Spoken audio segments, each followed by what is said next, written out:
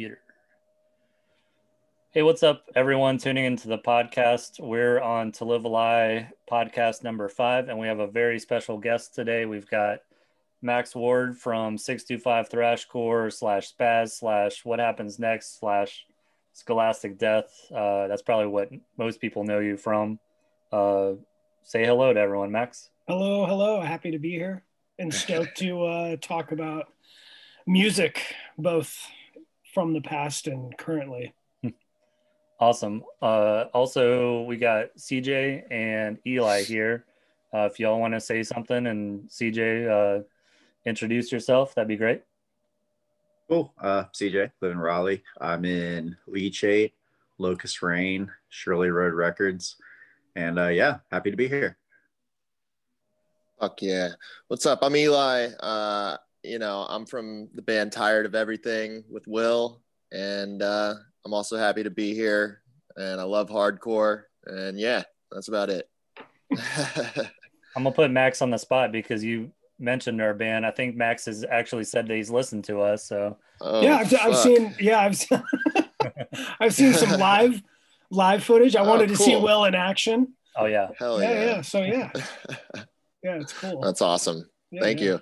Yeah, hopefully, I'm I'm hoping once we're through the other side of this pandemic that uh you know, maybe I'll be able to see you guys live or something. Maybe even come down and visit or something. That would be that'd be, that'd be awesome. Yeah. yeah. Um, I guess I'm gonna go ahead and jump in questions just because also talking about this and thinking about live videos of our band, like it was me being usually a bass player since I started playing in bands at 16. It was a awkward transition to. I mean, I approached Eli and Ryan and was like, "Hey, like I want to be in y'all's band." and I think Ryan thought I was trying to be a bass player, and I'm like, no, like I want to try singing. I, Max, when you signed up to do Scholastic Deth, I don't know if you were asked or if you uh, exactly how that happened, but was it awkward to be a drummer that became a singer? Yeah. Oh yeah. I mean, I tried.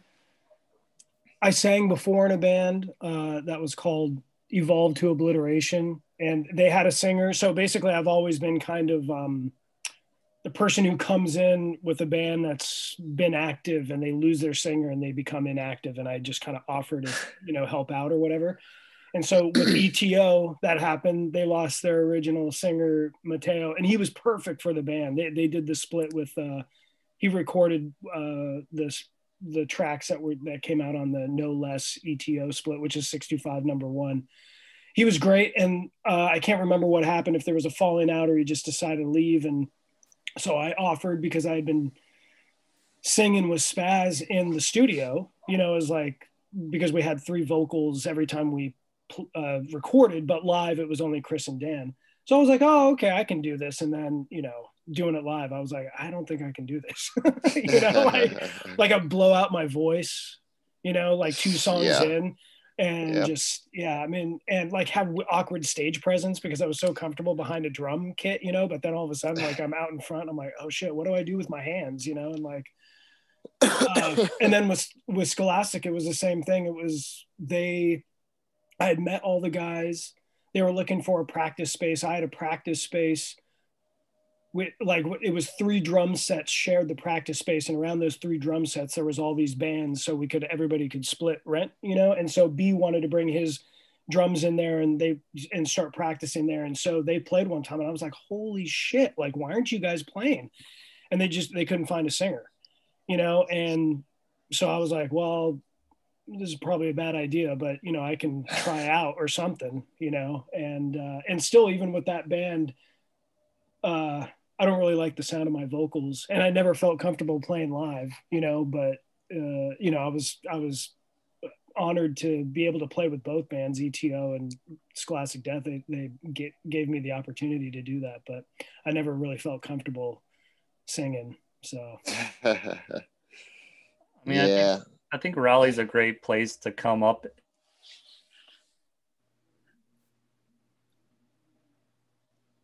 Well, uh, Will muted himself. Uh oh. Oh, Will.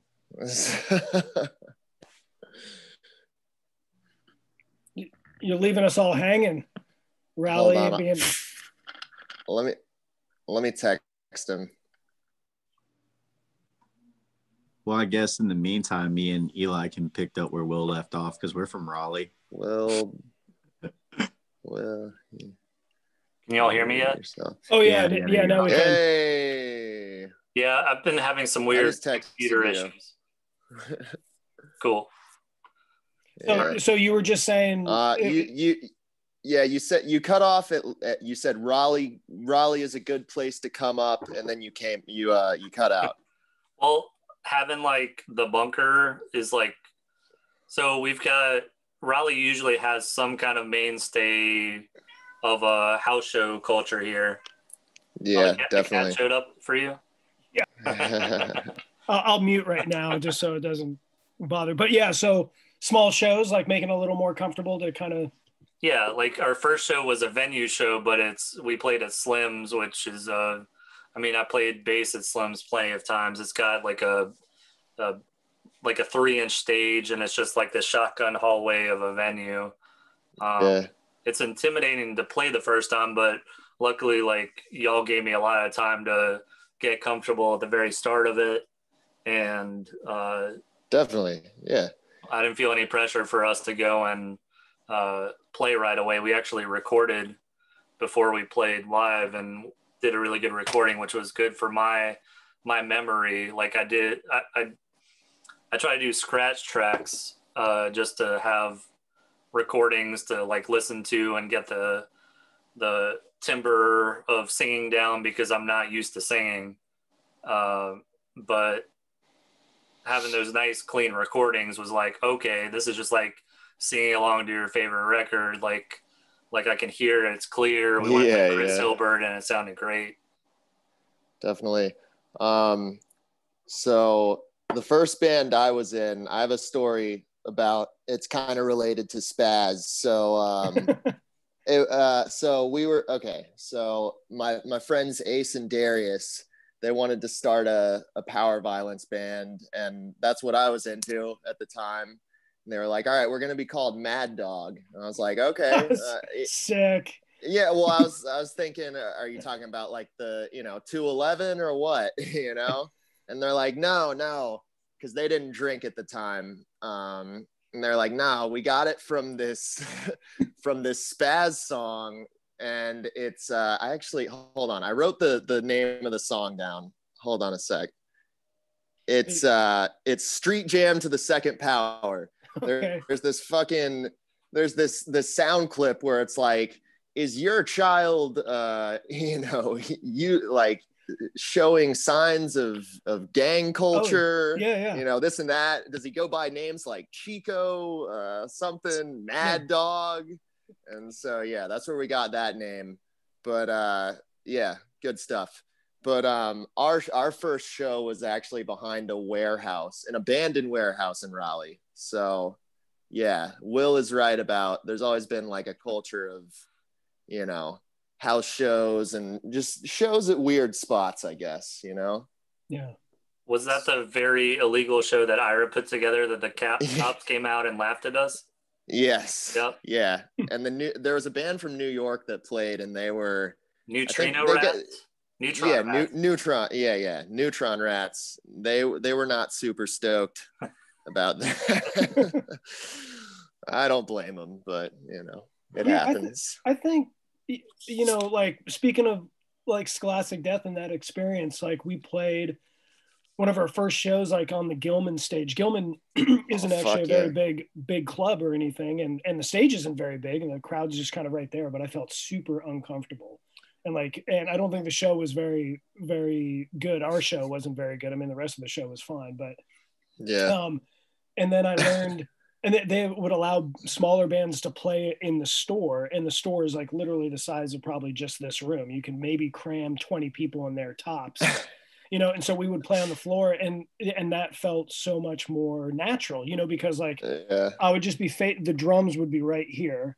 and the crowd would like literally I could feel them breathing on me you know and that felt more Yeah. comfortable than like being on this stage and like having you know heads here you know right it just it felt felt so weird but yeah i mean it's it's like those floor shows basement shows generator shows. Those feel more comfortable. Yeah. yeah, because you don't have a choice. You don't have a choice of you're just you're all packed together. But sorry, yeah. what were you saying, Will? oh, we've been on some big stages and I've surprisingly not hated it. Like uh uh what's the big venue downtown we played? Um, um Maywood? No.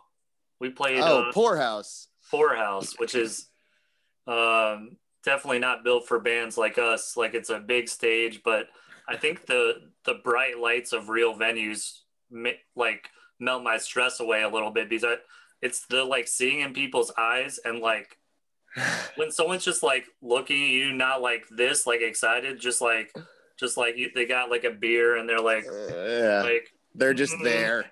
The, the moment I like... see one person look at me like like like this, I'm just like so pissed. it's happened at the bunker before because uh, I mean house show like the house show doesn't pop off for the first couple bands a lot of yeah. So you're just like watching these people and you're like, these are some riffs right here. Like I'm jumping in this tiny room trying to like get the energy yeah. up and y'all are just standing around. Yeah. Yeah, I definitely I don't know. I I was young when I did vocals. So I remember there were certain shows where I would just go so crazy that I don't really remember if the crowd was awkward or not because I just had so much energy. But then there were other shows where I definitely remember the crowd not being into it. Yeah. And you're playing blast beat music and it's really fucking awkward. CJ, what what do you play? You, you said you were playing in a bunch of bands. I never asked what um, what you do. Yeah, so um, I've had two bands before the one I'm in. I had like a little high school band that never did anything. Um, my first band that had a name was based out of Boone, North Carolina. Uh, we were called Ragweed, and we actually shared a member of one of Will's old bands, um, the singer for Occident. The current and, and that one I did uh, guitar. Current band Leachate, I do um, guitar, vocals. Um, I would say I write the majority of the lyrics, but most of our lyrics are a lot of oohs, ahs, woes, and yas. You know. do, do you feel comfortable? Do you feel more comfortable like having a guitar and singing into a mic rather than like if you were completely just with the mic in your hand, kind of? I haven't had a band where I'm doing just vocals, but I have done performances on just vocals, and honestly, I like it more. Um. I've never been able to like do vocals and play guitar well. I definitely can't sing and play, but like yelling and playing is easier because it's all rhythmic. Um, but I just like not having to wear a guitar so I can do dumber shit basically like definitely like get in engage with the crowd. Um we had a show in wilmington um at this venue kind of near downtown that it was a hookah lounge and the uh, ceiling lounge, had, like, that's awesome. Metal, yeah the ceiling had like metal like a metal beam. So i was like i bet i can climb up there and hold the mic with my teeth. Um it's a little bit harder to do that when you play guitar you know? Yeah yeah definitely. Um, yeah. play you know playing drums the whole time you got the best seat in the house because you get to see the show going off. You get to see the the crowd interacting with the band. And i would always be sitting there and i'm you know trying to keep everything together because you're kind of holding everybody together as they're moving around and stuff and i was like man i want to do that you know i want to like interact with the crowd you know i'm like kind of trapped back here and, and then once i did it i was like oh shit you know yeah like, i want to get behind my drums again yeah. i don't know it's just really fun just like putting the mic in kids' faces because they know the words. I was like, oh man, I, I feel so cool right now. the all 10 people watching my band, I feel so cool.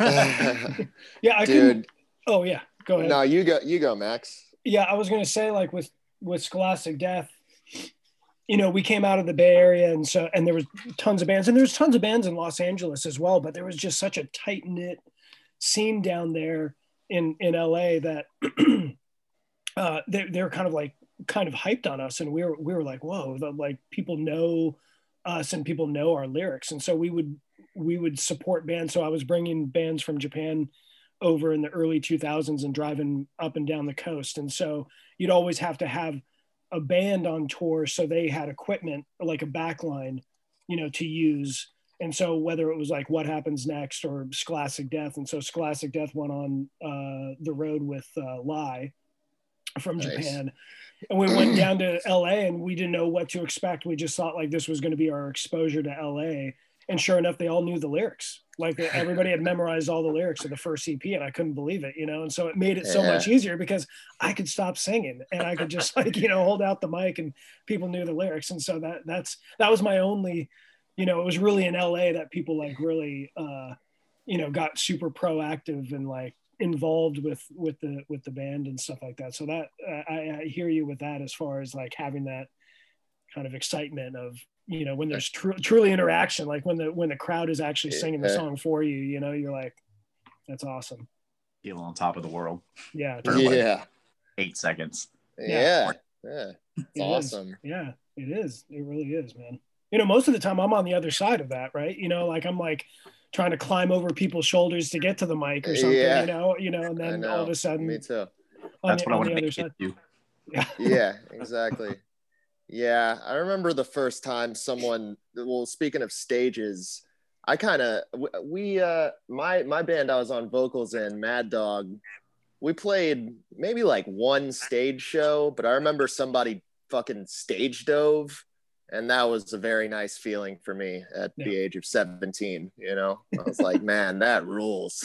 yeah Um, but I would have to say that playing drums is a lot easier than uh, doing vocals because every time I would get off stage or off the done with a set, I would always feel like I was about to throw up Yeah. for a good 10 minutes afterwards, you Yeah. know?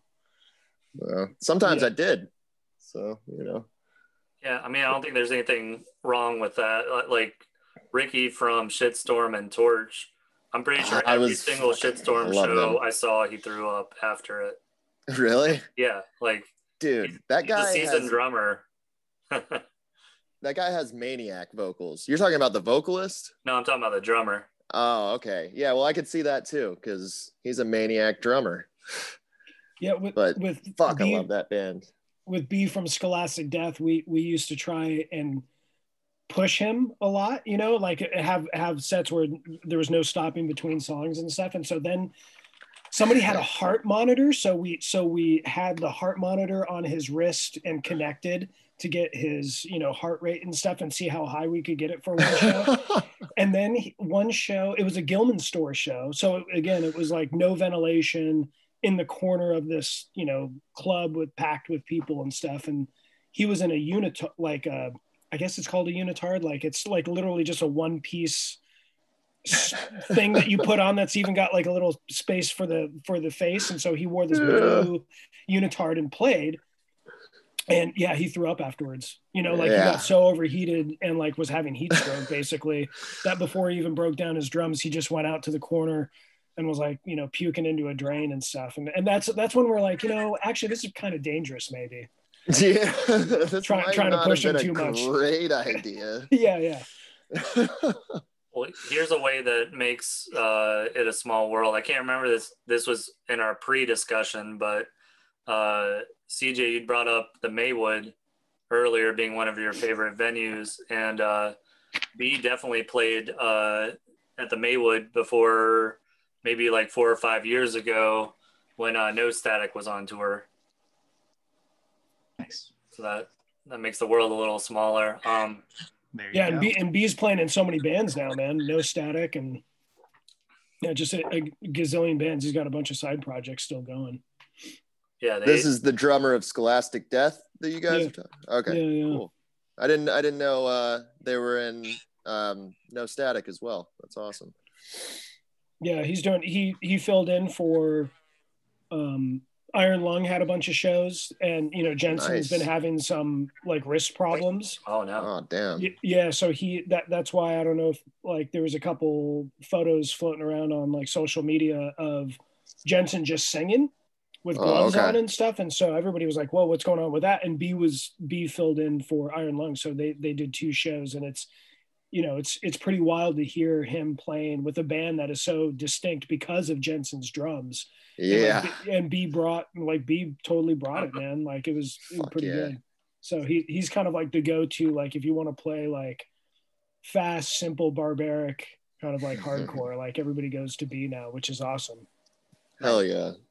I I got another small world mention. Uh, uh, Joe from ANS, I think, had bought your drum set at one point, and he also drove bands as he owned that as the back line. So the 625 drum set has played in Raleigh in house shows and venues and basements many times as a strange uh, small world thing.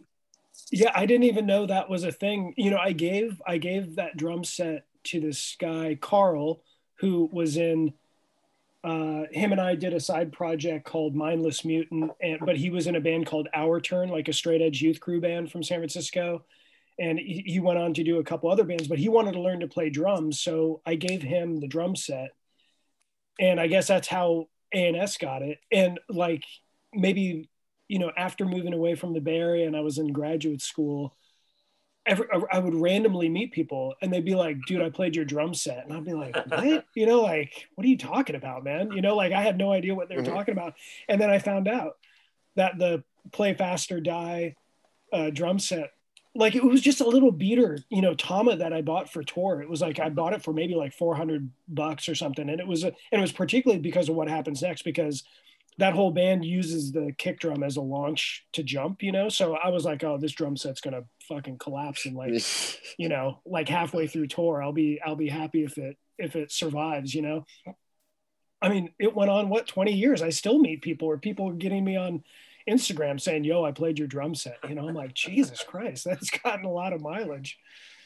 That's awesome. yeah that is cool. The Brotherhood of the Traveling Drums. Yeah basically yeah. Eli, I'm pretty sure they played a nice price show at some point. At some point, oh, really? I can't remember what show it was, but I feel like I feel like it played there. I don't know. What you're talking about? No static?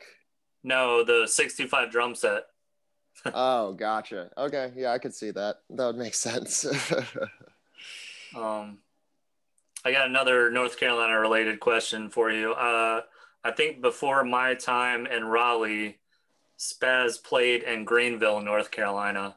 dude one of the best shows on tour man oh, sick. That's Yeah. what I hear. But like our feeling of Greenville, or at least my ideas of Greenville, it's like I've I've gone to a couple cool shows there, but people were sort of not tuned into that music. I think all the older heads moved away, and there was a there's a couple that come back but don't live there anymore. But I definitely don't know anything about this wild, crazy like. I don't know if that was early 2000s or late 90s. 97 yeah it was Okay. 97 the uh um you know you never know man like you roll into a town you had some contact and this is like pre-internet so you know like you were using maximum rock and roll's book your own fucking life which was like literally a print magazine that had numbers of people who said that they could you know set up shows or whatever or you That's just get awesome. yeah, you would just get like contacts from your friends' bands or people, and you would li- literally call them or send them like letters, you know, and say, hey, you know, we're we're passing through either of these two days. Can you set up a show or whatever? And you just don't know what it's going to be like. You know, you just kind of roll into town, you find a payphone, again, pre cell phone. So you find a payphone, you call the person. Hopefully they pick up. You know, and hopefully hopefully the show's been booked you never know and uh, so this this was at a skate park and we rolled up and you know it was kind of one of those things where like hmm you know what what's this going to be like because it was it was a lot of young kids and they're all getting dropped off by their parents you know and they're all like skate rats with like triple xl like shirts you know and shit and we are like we're like okay this could be super cool or this could be like kind of a bummer. So we didn't know we didn't know which way it was going to go. And they were just i mean they didn't know us you know so it wasn't that they came out to the show because of spazz. They just came out because it, it was you know summer. It was something to do. Their parents like were willing to you know drop them off. And there, there's videos of it. There, there's a vhs tape a comp i can't remember what it's called but it's but there's the portion of spazz is on and it was it was uh, half for lack of a better term, like emo bands, and like it was, I think like even like Get Up Kids were in it, and like all this. Oh, stuff. Really? Spa- yeah, Spazz was like, I think the only kind of like quote unquote like fastcore, grindcore, power violence band or whatever. And there's only one song in there, but you'll see in the video like the kids just like were, you know, excited. And Yeah. it was yeah, it was one of it was one of the best shows of tour. It was by far the most memorable. Like we we talked about that when we got back. We were just like, dude, those kids were were nuts, you know. Like somehow we we turned them, you know, like they didn't know who we were or whatever, and they just had a blast, and they were all super stoked and wanting to talk after the show and stuff. And they were all, yeah, it was, you know, it was super cool. Hell And- yeah. I feel sorry, you go. Oh yeah, I was just gonna say, you know, with small towns like that, I mean, even with big towns, planets align for a summer. You know, like kids are out of high school before they go to college. They happen to be in hardcore or punk at that time. There's like a core of like ten people who've organized the show, who've maybe like, you know, gotten some records out into the scene, got the word out, flyered for it uh, there's a bunch of kids who have nothing to do and so they go to the show and you go there the next year nothing you know like venues Yeah. closed those kids went off to college you know, Yeah. some, some kids are all you know on drugs or something and so, you know or whatever you know what i mean but it's just it was just that one summer where it was just like perfect you know? Everything lined up. Yeah. Yeah. No, Yeah, I hear awesome. you. Yeah. Max, I got a couple Greens or uh, Greenville questions for you, actually. you're gonna test my memory because Well- all, all i remember is that is that that show Well, here's what's crazy. I was also in Greenville in '97, but I was I was three years old, so it doesn't count. Kind of you should have come out man you should have come out three years old. Don't even know anything about anything, but I really liked uh, Intergalactic by the Beastie Boys. That was my favorite song when I was three. Um, yeah, your your parents raised you right. Clearly, Yeah. They- they play a Yeah, my mom my mom has great taste that's uh that's about it it's funny her taste is basically like an old lollapalooza lineup mixed with top 40s it's awesome Hey, that's fine. um yeah, BC dude- Boys. I mean, you know, even even with all my, you know, G'd out friends out in the West Coast, you know, still like Beastie Boys. You know, like everybody thinks, oh, Beastie Boys kind of hipster, you know, or whatever. But like, you can't talk shit on Beastie Boys like Yeah. these dudes. You know, they're like, That's awesome. That's i sick. saw uh recently um they had on youtube their their final show and it was when they were like playing bonnaroo 2009 i'd i'd never seen any beastie boys footage like that and i was like man these guys are cool Yeah. but um do you remember the name of the skate park that you played I I can I can find that out. I can't remember off the top of my head, but I, I can find that out. It was an indoor, and it was. Uh, I mean, I remember because we played the flat bottom of the quarter pipes, and on one side the quarter pipes went up to a bowl. I think we That's played cool. the same skate park then because um, my band Leachate, uh, it was backdoor skate park. Um, Could could be actually. or That's kind of actually rings a bell. Yeah, it, it almost it almost looks like okay, so to get in there, it's like the skate parks in a warehouse kind of looking thing. But first, you have to walk in the front door. It's like this little hallway of a skate shop, and then you go to the back room, you make a left, and then boom, uh, you got the whole skate park right there. Yeah. Um, while you were there, did did you happen to meet someone named Darius King? Does that name ring a bell? Uh, I can't I can't remember. I Okay. you know I there was a scene there was a scene and there was a band that they were super good to us and we stayed at their house and we just totally connected and uh, for the life of me I cannot remember the band or the people who had like treated us so well. I mean there there was this small scene of like you know 20 somethings even though most of the crowd was like in their in their teens or you know maybe Right. even younger i mean they were like skate rats but but there was a punk house you know and it was the punk house who had set up the show i, I just can't remember um who that was Gotcha. I went on that weird tangent because, like I said, we played Greenville once, and how we got invited up there was through our through our now friend Darius King. They just hit us up saying, "Hey, do you want to play for Horse Whip or open for Horse Whip?" I was like, "Who's that?" They're like, "Oh, members of uh, Versatile Man and Combat Wounded Veteran." I was like, "Yeah, Oh, yeah, I want to I want to play that show." Awesome. I was. It would have it would have been wild if it turned out like, hey, we both played Greenville because of the same one person. That would have yeah. been speaking of making the world a little it bit could be. smaller. it, it really could be actually I, I i don't know I, I i i just can't remember the the the name of the people um who who helped us out and set up the show and stuff Right. I'll have to bug them about it later. Yeah, yeah. But what's up to to that scene, man? That that was a great show, and and they were super nice, and so very grateful. You know, even though that was almost a quarter of a century ago. I mean, Green Greenville is is was good to us, and then all the all the friends that we made there. Um, you know, they're still cool people, and uh, from what I've been seeing, like they have a pretty active, like old school screamo, scrams, whatever you want to call it, kind of thing. Like, hey, all of our all of our bands really like you know Page ninety nine, Orchid, that kind of stuff. Cool, cool. Um, so it's cool to see that they still have some life kicking out there in, in Greenville. Shouts out Greenville. Yep.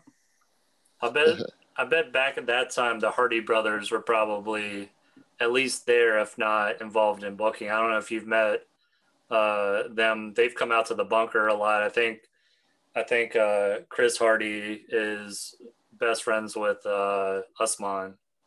Uh, Nice. he runs Velted Negrub distro. Shout out Velted Negrub. Really good distro. Lots of like old like 80s bootleg stuff. Um, Cool. nice dudes. Yeah.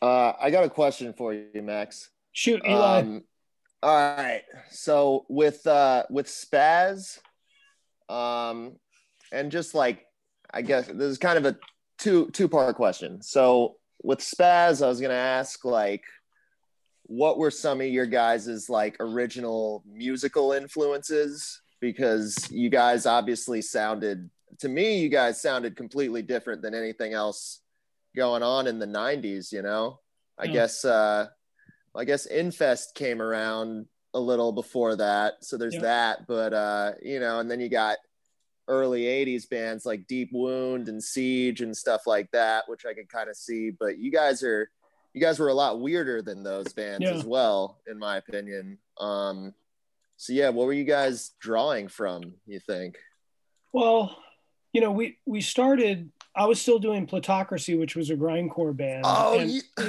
see, I don't even. Oh my god, I didn't know you were in plutocracy. I fucking love plutocracy. yeah, that that was my first Fuck band. yes. Yeah, so that was like my my high so school you played band. drums in plutocracy? Yeah, yeah, yeah. Fuck, so man. yeah, and so we, you know, I was doing that, and when I first, again, like much of the stuff that we've already talked about, you know, th- they had a drummer. This, this band Plutocracy. They, they were like one or two years younger than me in high school. You know, in high school, one year or two years younger is like a big thing nowadays. Like, it doesn't mean Yeah. anything. You know, when you're 47 or whatever.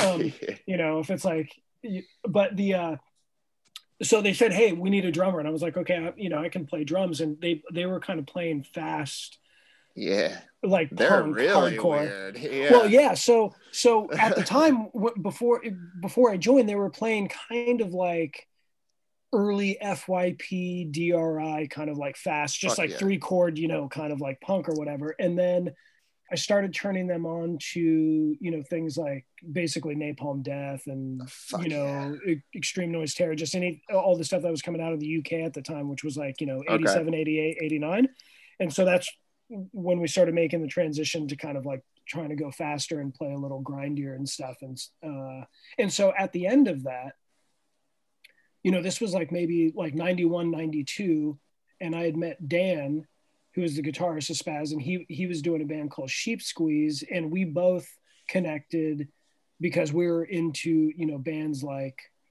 you know infest and crossed out and everything that was kind of happening at that time and we, we wanted to do a side project kind of like that. And so sure enough uh, we started practicing in his garage trying to mimic kind of like power violence like really brutal you know like crude kind of like song structure kind of stuff yeah. and um and did that hey dylan Hey, how's it going? What's and up, uh, Dylan? Uh, yeah, sorry I'm kind of late. Uh, kind of busy for a minute. no worries So, It's okay, Yeah. bud. and and so then um and then chris heard about it and chris wanted to join and so chris joined and learned the songs and then we recorded the first ep but if you hear like maybe the first year of spazz like we we're trying to figure out what we're doing and it wasn't until maybe like la revancha which is like the later you know it took us about three years to kind of find the style and that and by that time we were just drawing on what we were into. You know, basically we are into hip hop, so we were you know into Yeah. like ultramagnetic MCs and Kool Keith and all this stuff. So we're drawing samples from Kool Keith. You know, we're into like New York hardcore as well. So you know, d- just basically trying to bring in. That's awesome. Okay, because I fucking I listened to La Revancha today, and I, I I was thinking I could hear the New York hardcore parts. You know what I'm saying? Yeah. Um, I wasn't sure if like that was maybe supposed to be a little like tongue in cheek, or if you guys were really into that. You yeah, know yeah, what I mean? yeah, yeah. I mean, no, that's know, sick, dude. yeah, Cool. You know, I think back then, even though the distinctions were still, I mean, you know, pretty stark, I guess, but you know, it just feels like, you know, back then, uh, there was less kind of genres to distinguish between and different categories that applied to different bands. And basically, like, if it was like, you know, pretty heavy and fast, uh, you know, and, you know, at least with good politics, you know, uh, Yeah. you know, then then you're into it, or at least we were. So you know that included Yeah. everything from really minimal grindcore to you know FYP to early sick of it all to you know anything Yeah. basically any anything that kind of fell within that you know but now Yeah, yeah. those distinctions are so clear that people are like oh I only listen to like Scandinavian hardcore DB you know but I don't Exactly. listen to you know But New York Like- hardcore is out of the question. yeah, It's like- or or New York hardcore kids, you know, being like, oh, I can't listen to that shit. You know, like, yeah, what it's too. It you know- sounds too raw. Or yeah, no, I, I Yeah. gotcha. yeah, Um, and so so we just we just drew upon all that, and and I think it was by the time La Revancha came out that like we finally had our own style, you know, where Chris, who was from Sticky, I think you know you can hear a lot of Sticky and and the humor in Spazz, and you can hear a lot of like kind of the the hip hop like graffiti skate culture, you know, coming from you know Dan and uh, and just you know yeah it all kind of just gelled, but it took it took a couple of years to find out what we were you know figuring out what we were doing. So cool, man. That's what's up. Yeah, I always always loved the like the hip hop samples in in the in the music. You know, that always just added like this unique thing to it, and like it it it all you know it always felt very West Coast. And since I'm from the East Coast, it was just like like listening to this stuff that's just like from this whole other fucking side of the world that just I've never seen, you know, it, and it sounds dangerous and fucked up, you know. Well, that, like it. that's that's how we listened to like Sunday matinee hardcore stuff Right. coming out of CBGBs, you know, in the late Yeah. '80s, where we were like, "Holy shit! Like, what's up with like Outburst and breakdown and you know and all this stuff we were just like what the fuck are those shows like and what are these people like and you know like you had the records Yeah. but you were just like oh man i bet it's super sketchy being in the lower Yeah. east side like going to these shows or whatever you know yeah, So- yeah, you know but Oh, yeah, yeah the, the world's a whole lot more connected and smaller it seems now you know with these Yeah. kinds of things zoom and you know I know. and everything like that but back then like you, you would just like look at a magazine and be like holy shit what the fuck is going on out there you know Yeah, it's like a lot more mysterious. yeah Yeah, it's pretty cool. yeah Well, Dylan, I know you just jumped in. Uh, you got anything off the top of your head or um, to throw at Max or anything you want to talk about today in particular? Um, nothing like super in particular. Um, I was like checking out the like 65 Discogs uh, before I hopped on and just like taking a, a gander at a lot of that stuff. And uh, great, just a great discography. You know, I love all the um, all the like non-American bands on there that you're giving exposure and stuff like that. You know, a lot of uh, Spanish stuff. I'm not sure if it's all like South American or if any of it's from Europe and stuff like that. But um, I'm like I'm glad to see like that representation because I feel like some labels don't really do that as much. You know. Yeah, and that that was actually, you know, 625 first started because no one was putting out my bands or my friends' bands, you know, uh, records, and so we we had to do it ourselves. And so I, you know, first started on my on the local scene and my bands, and then I kind of expanded out to bands that weren't getting coverage that I thought were good either in the US or you know Western Europe and then expanded that further to you know, to basically international. And particularly by the late 90s, you know, connected with all these bands from like Brazil and Japan, Portugal and Spain and stuff like that, and just trying to get, you know, not only new bands at the time out, you know, just to kind of remind, you know, particularly what, you know, everybody calls kind of the thrash revival. I guess that's what, what the term is now, mm-hmm. like what, what happens next and, uh, you know, yeah. tear it up and life's halt and all this stuff. You know, at that time, th- there there had been scenes, there had been bands doing that. You know, a couple years before, like the North American bands. You know, and so basically, the what 65 tried to do at that time was just to kind of remind everybody, like, dude, this is like a larger thing, you know, going on. Even though, of course, North American bands always get the exposure, you know, just you know for whatever reason, you know, but yeah. trying to trying to just show like, oh, you know, this is happening everywhere, and also earlier bands too, like. uh you know, I mean, in English, HHH or Hache Hache, uh, mm-hmm. pardon my horrible pronunciation. But, you know, like fastcore bands, you know, from Spain, like HHH, who were so instrumental in kind of like, you know, playing that kind of music. You know, it's not power violence, you know, it's not thrash revival. It's like just great, really fast hardcore, just trying to right. put out early stuff like that, just so people who you know aren't like super record nerds could hear it and like then think also like oh okay this now explains why there was like a fast 90s power violence scene is because there was bands in the 80s you know mm-hmm. not just dri and cryptic slaughter but there was bands all over the world who were playing you know fast and right. stuff like that so yeah. yeah definitely yeah i um I was gonna say, uh, or I was gonna ask if you guys were influenced by the bands like Heresy and you know all those British bands. I, I definitely could hear that as well. You know? Yeah, I can. I can say without a doubt, Heresy is my favorite band of all time. Fuck yeah, know? I love yeah, Heresy. Yeah, yeah, and and also, and what's interesting is they changed over time, and still,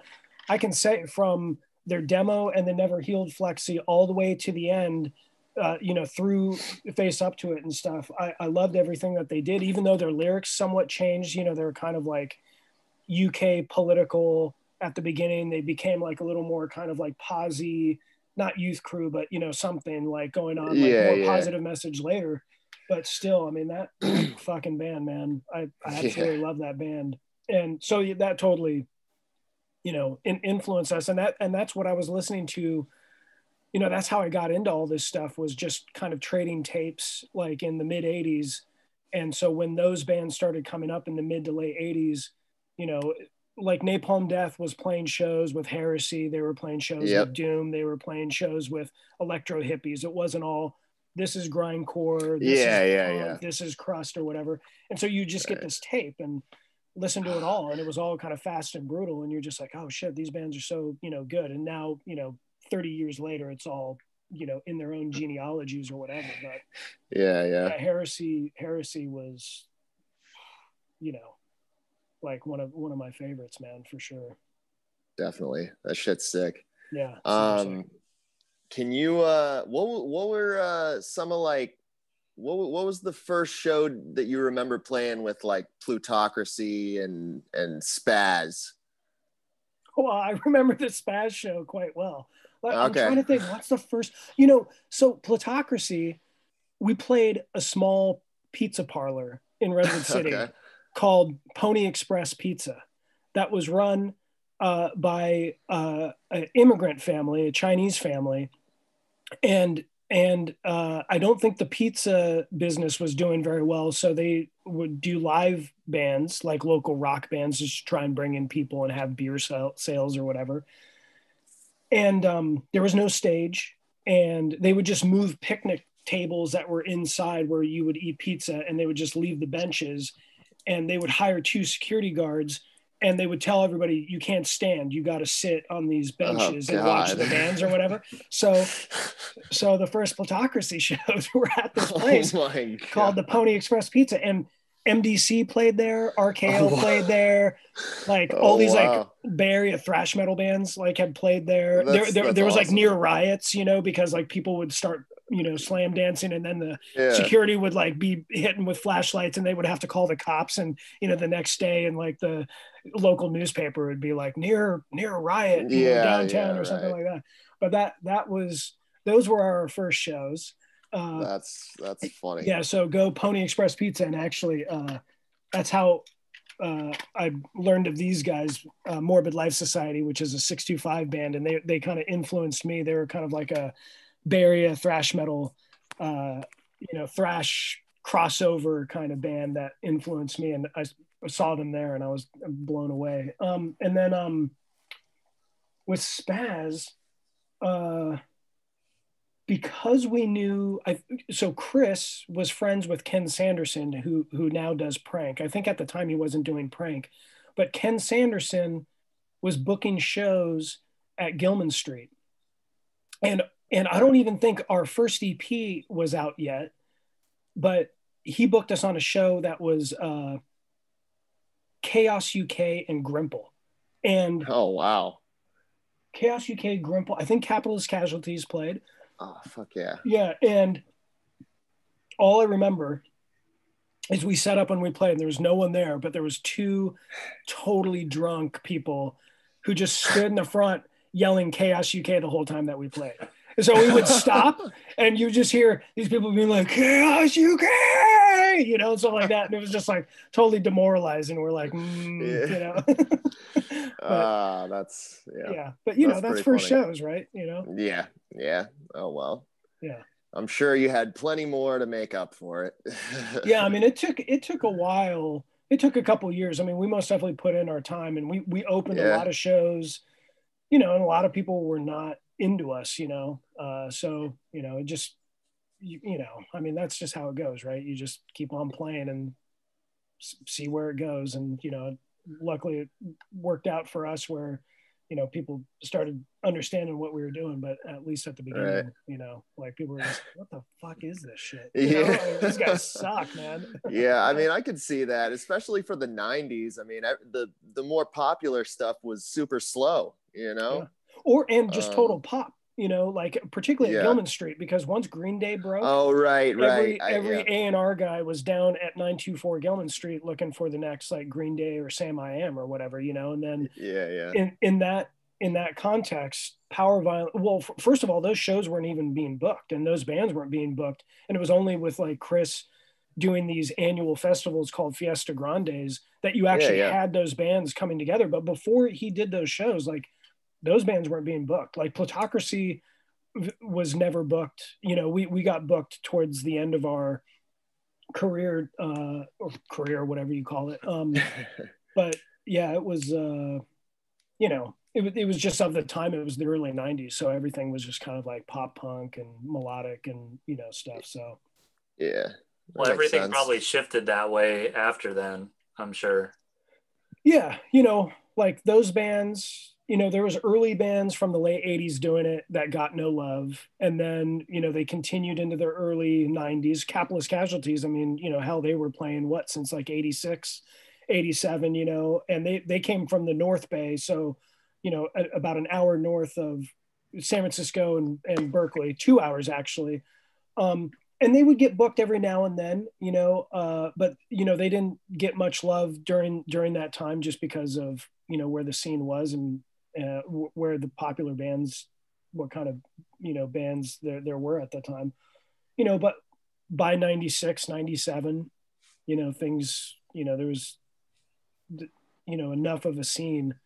Um, particularly because there was a lot of people just kind of dedicated to it that kind of survived through that. You know, they were like putting out their own records, setting up their own shows, doing their own zines, doing their own distros, you know, and like no one was buying this stuff at first, but you know, fast forward five years, six years later, there's actually like a pretty tight knit, you know, good, good scene by then. But, um, but yeah, at the beginning, I mean, people were, I'm surprised like we didn't get shit thrown at us like when we were playing live and stuff, you know?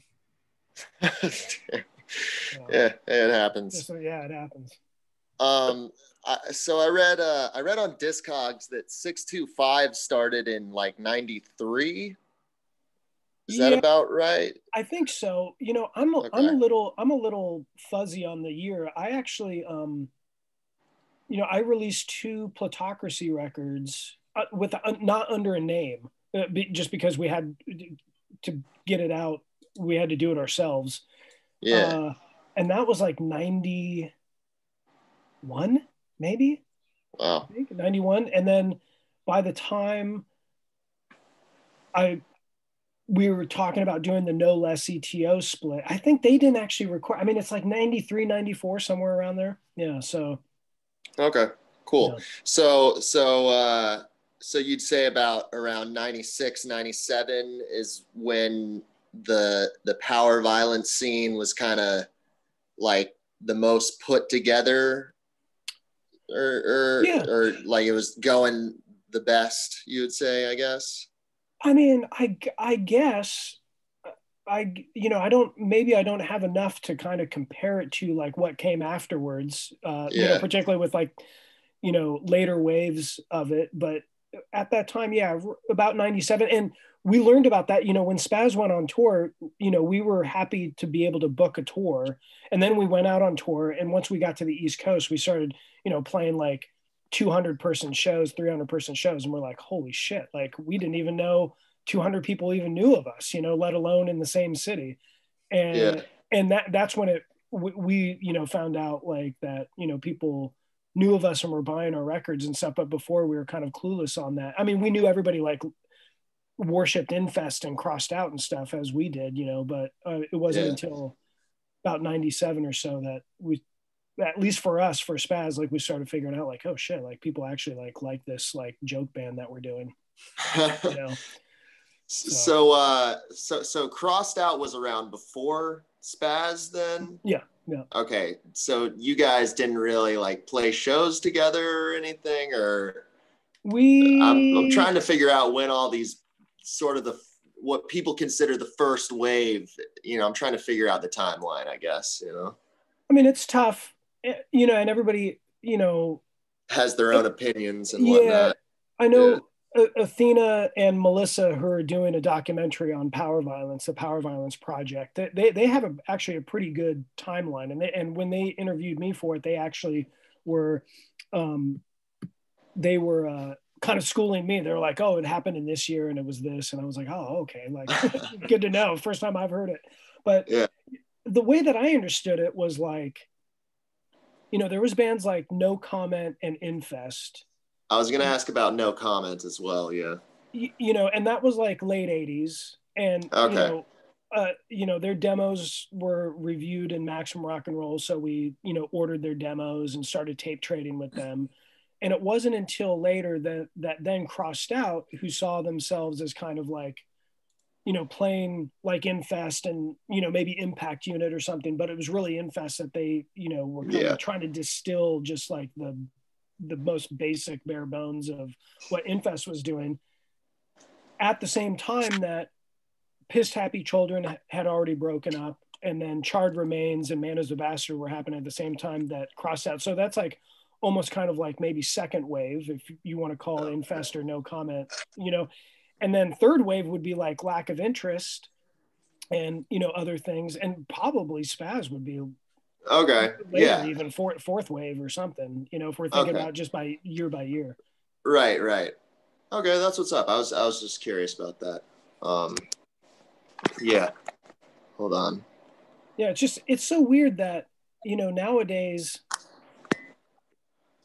I mean, just think like you watch a band put out records over a span of years, and then like maybe by the seventh or eighth year of them being around, they start changing their style, and you're like, oh, they're changing their style, you know, like uh, you know. But you had seven or eight years of them like putting out pretty substantial good releases of the same style Yeah. but I felt like in the 80s, like bands started sucking earlier. You know, like band like bands put out a really good record and within a, like a year or two, they would start selling out or starting like you know playing metal or like rock or something like oh, that. Oh, and like even you know, but Classic then rock switch. yeah, you know, Yeah, like all the Boston bands or like SSD. know, Yeah. SSD, yeah, DYS. yeah, you know, and but like, I, I and I also think you- like if you think of like what happened between 87 and 93 there was all these like condensed developments you know that explain you know the origin of grindcore and power violence and even you know death metal basically you know a, a kind of death metal after bathory or venom you know or whatever and um it was all just like this like kind of five years where you know every six months there was something new happening or some new band formed and you know, from that 30 years later, there's a whole new tree in the genealogy that goes in some kind of direction or whatever, you know. Yeah. It's hard to hard to keep track. Yeah, definitely. Um, yeah, you go, Will. I, I feel like I'm hogging everything. Someone else talk.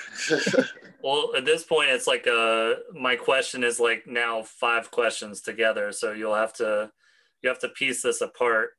Um, so it, it's more around like sort of the mythology of spazz and how y'all had all these things that I think would be pretty weird happen. So uh, I'll fast forward back to my personal music uh, history. Um, when I was a kid, I loved short music for short people, and then like like 15 years later, I'm like, oh man, I was listening to Spazz when I was like 14 or 15, and I had no dude. idea. Like, uh, honestly, the Spazz song next to a bunch of poppy stuff, like like you, you go from like bouncy poppy songs to like the spazz song and it sort of leaves your palate a little funky like no offense to you like it's if you hear spazz front to back you're like Yeah, sure. so first, I'm sure there's a whole generation of pop punk kids who also had that same they had that same uh, reaction where they're like, "What the hell is this crap?" Yeah, I'm, Uh, I'm looking at uh, this this the tracks for this comp. I didn't know what this was, but this is pretty funny. Yeah. I could see this. I could see Spazz being a shock to the system. it's a know? great album like even i mean spazz is great being on there there's uh i'm not a huge blink blink 182 so- uh fan but uh they just have a song with cuss words sung front to back um like this definitely sort of propulsed me through like oh like a bunch of this stuff is sort of dumb but you pick out the stuff that you're like well like maybe I should check out Descendents a little more. Maybe I should check Avail out a little bit more. Poison Idea. I mean, I was hearing Poison Idea at that age, like Yeah, yeah. That's awesome. uh, Yeah, and- Misfits. And you know how that came out? That, that that's a Fat Records release, right? Yep. That comp. Yeah. Yeah. Chris Chris Dodge was label manager for Fat Oh, Records, I didn't and actually, know that. Yeah, and so he, you know, he uh I'm trying to think of the trajectory. He was all he was label manager for Alternative Tentacles and then he went to Fat Records. And actually uh, uh, Fat Records when they were the most active, there was a lot of punks uh, working there, you know, either doing kind of mail orders, stocking or doing sales or whatever. Uh, and, you know, a lot of people who might not be into kind of the regular fare of um, Fat Records, but, you know, Fat Mike uh, employed a lot of people, you know, and treated them, you know, uh, quite well, at least I think from what I remember, at least from the time, you know, there was people who, you know, uh, were getting health insurance and getting Oh, an wow. okay, you know, paycheck, you know, through through Fat Records or whatever. But yeah, Chris was label manager, um, and uh, and uh, and yeah, somehow you know was just like, oh yeah, we gotta we gotta get Spazz on this or something, you know, and talk somebody into it. And I think Fat Mike probably was probably into it, you know.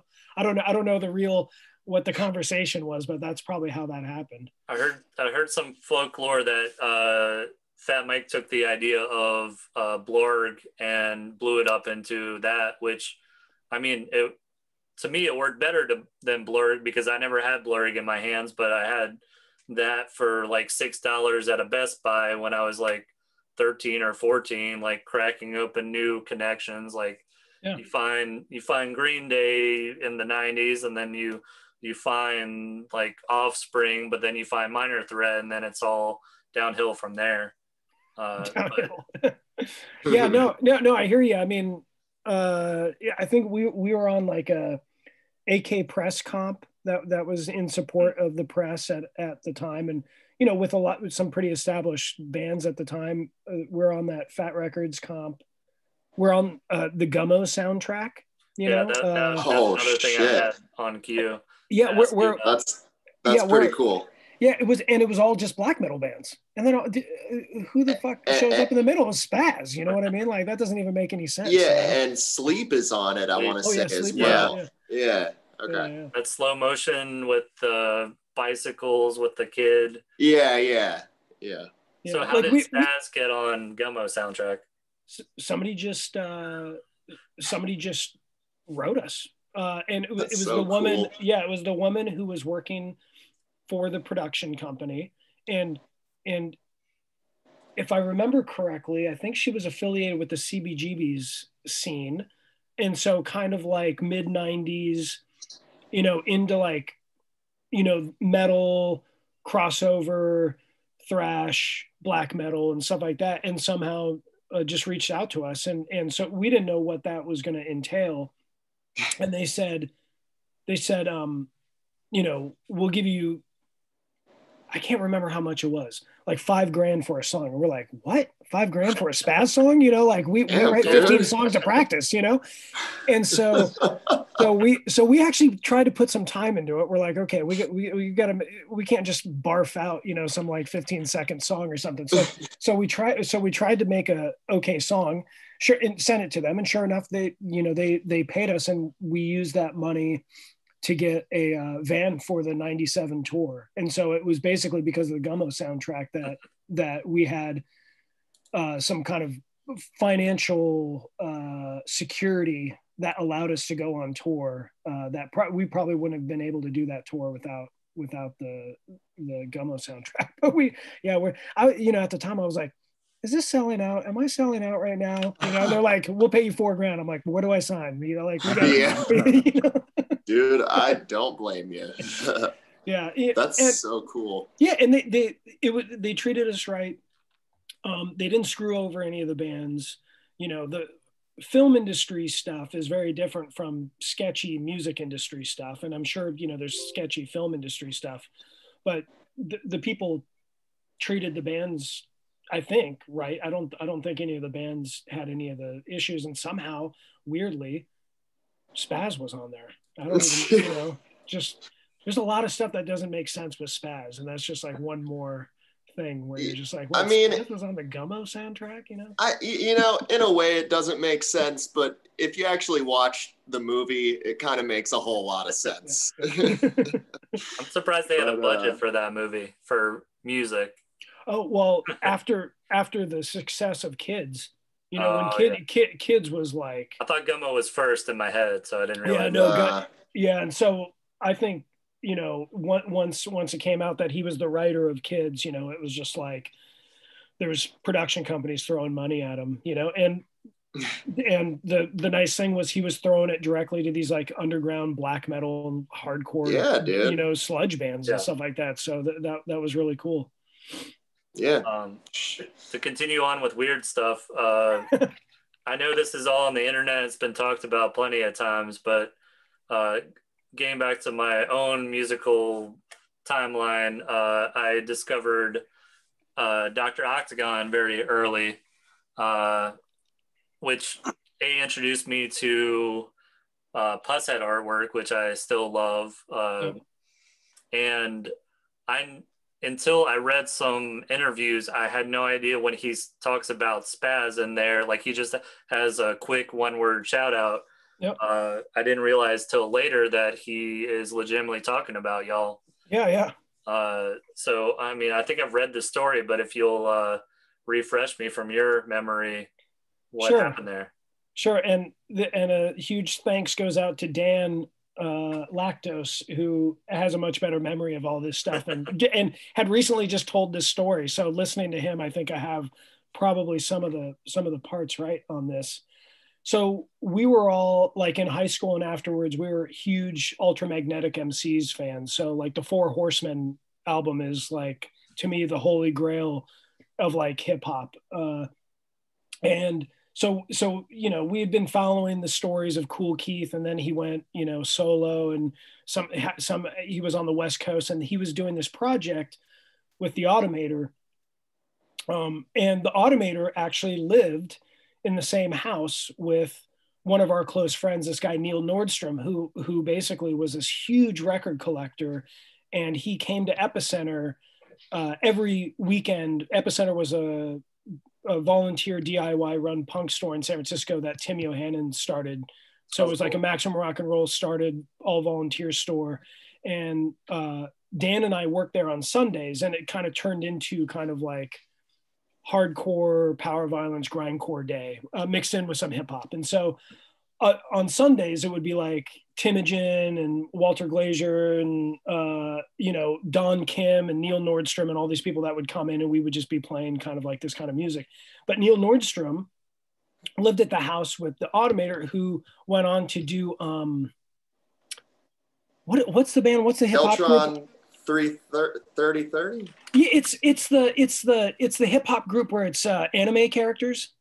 Gorillaz. Gorillaz. Oh, So so yeah, yeah, so he so he's done Gorillaz. You know, like he's he's like of that level. He's like you know, but yeah. at the time he was doing the side project with Kool Keith and and Neil Nordstrom knew we liked Ultramagnetic MCs. And he called me and he was like, "Yo, dude, uh, Kool Keith's at my house right now." And I was like, "Holy shit!" And I couldn't go there, but I called Dan. I was like, "Yo, Dan, uh, Kool Keith up at Neil's house, and and Dan was like, "I'm free. I'll go up there. I'm gonna bring like a cassette recorder and try and get him to drop something on a cassette and, re- and give him a bunch of spazz stuff." So he went up there, and you know, all the Kool Keith stories are true. You know, he was kind of like acting all weird and like talking to Dan about all the different porno movies that he had just bought and stuff, you know, and Dan's like, well, this is kind of freaking me out, you know, but like, you know, but Dan was like, yo, can you, you know, I'm in this band called Spazz. And, um, and he was, and Kool Keith was like, is that kind of like grindcore? You know, and like Dan was like, yeah. And he's like, oh yeah, I'm Whoa. into like, I'm into this band and I'm into that band. And like he ah. knew of these bands. He knew of Autopsy, you know, and Dan was like, Yeah, I mean, we're kind of like the You said he knew of, of Autopsy? He knew of Autopsy. So That's so in sick. Yeah, so in the hmm. Dr. Octagon album, he says, Oh, what's the line? He says, waiting in line for Def Leppard, Autopsy, and Spazz and all that jazz. But so so we get dropped with Def Leppard and Autopsy in, in his yeah. What a lineup! I know what a lineup. yeah, really, dude. And and that's because Dan went up there to see him, and and he was stoked on the Spazz stuff that that Dan gave him. And at the time, he also dropped like a little shout out on this tape recorder that then Dan took and put a beat to, and and we put that shout out, kind of like what we were thinking is like KRS One on the Sick of It All album, and we're like, yeah. okay, this is this is gonna be Kool Keith on the Spazz La Revancha album, you know? Uh, yeah. Yep. Yeah, yeah. So people always ask us, they're like, uh, you know, this is before Cameo and all that kind of stuff. They're like, uh, how did you get Kool Keith to, you know, drop yeah. on your album, you know? And then and then later, uh, Neil was like, "Yo, dude, he mentioned you in a in a lyric," and we're like, "Yeah, yeah." You know, that, that album like, is amazing. Yeah, that's yeah, and it blew up. It blew up. Like that album was just like it's probably bigger than Ultramagnetic MCs and all that stuff. Great album. Well, that's so cool, man. Eli and I cheated, and we we got a, a cameo for Project Pat for our album, yeah. but I don't I don't regret that. I, I, love that. Oh, I don't I don't regret it, but I I'm I uh to be honest, I was just kind of expecting like maybe you guys wrote Kool Keith or some shit and like offered him some money or I don't fucking know. But that's yeah, no, a way I mean, cooler we, story. Yeah, we could have. I mean, we would have written them if we knew where to write. You know. Yeah, um, no, I feel you. Yeah. Like, I... yeah, I got um you know, I think I still have my ultramagnetic MCs. I have a poster. I gave I gave Dan because I couldn't go. I think I was working or something, but I was like, Dan, if you go, you know, please have him sign something. And I had a ultramagnetic Four Horsemen's poster, and he signed that and stuff like that. And like to still oh, to this day, I'm like, you know, praying to it every morning. You know. Well, uh, I love is, I love how he's like oh, is this grindcore? Yeah. This is that grindcore shit? Yeah, yeah. Yeah. And that's that's when Dan was like, huh? Like you know grind? So that, that that's when they started rapping. L- luckily that's when the conversation shifted from like hardcore pornography to, you know, to, like, yeah. hardcore punk. yeah, to hard tomato tomato. Yeah, exactly. uh, I'm not trying to talk crap on him, but when I saw him play local 506, it was I, I know he reconnected with Dan the Automator and went on a big tour after this, but his recent smaller comeback before his big comeback he he rolled up with I'm pretty sure a backing CD, uh, like a just like a black plastic bag of stuff that you, I wasn't sure what it was, and uh, just sort of did his thing, and uh, it it wasn't a big production, but I, I, had fun. Like I I came to hear the Doctor Octagon stuff, and he played some, and uh, it it was a bizarre, tiny, weird uh, concert of sorts, but yeah, very strange. The, the, and, and, and 506 is like kind of that'd be awkward for a small rap show. You know what I mean? That's yeah, why baby. yeah, the uh, you know he he he's had problems, you know, uh, and there, there, now I think it's well known that you know he's struggled with some stuff. Um, and even during Ultramagnetic MCs in their interviews, they would say like, we couldn't record because he he's institutionalized, you know, and stuff. Mm-hmm. And so, you know, for us, that was kind of like the veneer of like, ooh, you know, like this guy's like literally crazy, you know, or something yeah, like that. Yeah. You know, but like the older you get and the more people you meet, you actually, you know, you really start understanding, damn, like people got, you know, substance abuse and, you know, you know, mental health issues and stuff. And and you know the sad thing is is like they were they were kind of i mean maybe it's not even sad maybe it's actually kind of um kind of cool in, in a way you know dr octagon was going to blow up like in in a way that it was going to be like lollapalooza and like you know th- this kind of stuff. And there from what i understand there there was times where dan the automator was up on stage like at a beck show and Kool Keith was nowhere to be found, you know, and so like they had to break contracts and they like lost all this money and you know they, they were going to be this big thing, but I you know Kool Keith I think like I don't know what happened with all that stuff, but you know I mean I think just his personal troubles got in the way, and maybe kept it kind of like underground and DIY, so it's not like Doctor Octagon is now affiliated with some bigger, you know, or something. Right. You know? Some some some more mainstream, like a more mainstream type of audience keeps yeah. it. Yeah, I get what you're saying. Um, I didn't know all that about Kool Keith though. Uh, that's definitely interesting. I'll have to read up on him. Yeah, you, know, I mean, from early on, I mean, from the Ultramagnetic MCs days, they were reporting some stuff, and then after, but once he actually got really successful with the Doctor Octagon and just the Kool Keith projects after that, you know m- more and more people you know were finding out you know that you know i mean he had his issues or whatever. Yeah he you yeah. know and like who you know who who doesn't? And also like we, we all have friends you know that are struggling with stuff. And just imagine trying to be you know in the limelight the whole time and like trying to you know do all yeah. this stuff and so yeah it's a, you know I, I, think i think i would probably have a bit of a, a, freak out as well if i was about to be on that level you know yeah so yeah. That's that's awesome that you got to get that shout out though. Oh yeah.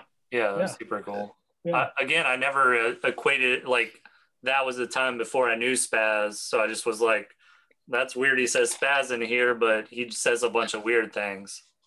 Yeah, so, yeah, yeah, Gummo, Fat Records, and Kool Keith. check, check, check. Yeah. Uh, the other things I, I had as far as mythology was I feel like the the Jeb EP was like a mysterious album that no one had, and then the 25 Ta Life split never had an official release, but then some legitimate ones popped up on eBay, and I snagged one back in the day when I was uh, a collector and was really excited to get a real copy of that. Um, yep. Uh, was there any reason that those were limited or not officially released? Yeah, well, the um the 25 Ta Life split was uh the idea of John from Very Distro and Edison, um, rest in peace, because uh, he I, I, learned that he passed away. Oh, I didn't know um, he passed away. That's yeah, he, yeah, he passed away recently. I didn't know that. Um, but at the time, he you know he was running a distro uh, we would rap on the phone about stuff. He was teaching me a ton about like East Coast like underground wrestling because he was super into that, and uh, and we would talk. You know, and here's again, you know, one of those kinds of things like where you know, we would talk about like New York hardcore or like metalcore or whatever you call it in the 90s. And, you know, I would talk about the bands that I like, which what were the bands that like very or like Edison was putting out of that kind of like larger level, you know, Converge and these kinds of bands, right? And um and uh and I think we just started talking about 25 Ta Life, you know, and I was like, dude, I like them, you know, like I'm, I'm not gonna lie, I, I, I like 25 Ta Life, and like, and, and I've I've gone and seen 25 Ta Life a ton. I've gone to see Come and Correct a ton. I, I've Dude, written, that, that that makes me very happy to hear. You uh, know- I don't really like 25 Ta Life. I just I just like that you like all this stuff. Well, you know, now I, you know, I, I've learned that it's gotten a little more complicated as of recently about, you know, certain politics about certain members, you know, saying Right, things right. on, you know, so I, I don't know about any of that, but you know, Yeah, ba- ba- yeah. back in in the '90s, you know, here was a guy um, who was trying to support young bands that weren't of the level of you know the large new york hardcore bands but they were like the smaller like new jersey or pennsylvania like young kids but playing that style of music so you know he was putting out you know i mean a lot of people kind of talk crap on like you know maybe the quality of the ep covers or the demo tapes Yeah, that he was you know he's putting out and i can understand that but you know he truly was kind of like the diy version of that scene you know and Yeah. and his message whether it was authentic or enough is something i can get behind unity Yeah. and like i mean it was you know every every Rick, loyalty. yeah Commitment. commitment you know yeah i mean that's like you know i mean that's like a tattoo waiting to happen you know i mean it was just like so um so i think a lot of people thought like it was kind of like a joke or something like when we did it but like you know i mean on the label you know there's a picture of me and him I w- I was at a 25 Ta Life show and i was like rick like can we take a picture together so we got a picture together and he Yeah. oh, here is some trivia this is probably the first time uh, that that it's been spoken about publicly long long time ago when plutocracy was still playing and we were right we were just about i think to break up and we we were doing you know our last show i think was um the fiesta grande the first fiesta grande with Assuck and um Sick. before that, we set up a show at like one of these pay to play clubs in our area that all the death metal bands played. And somehow we had talked to this this club saying, yo, can we set up a show that's not pay to play, that's all ages, and we'll do it on a Sunday afternoon. So, you know, no loss to you. You know, you can keep your Thursday through Saturday and, you know, make all your money. And we're just going to do this small thing. And it was Immortal Fate, mind rot, phobia, plutocracy, colostomy, I think, and maybe exhumed, I think. I think exhumed opened the show. I can't remember. Oh wow.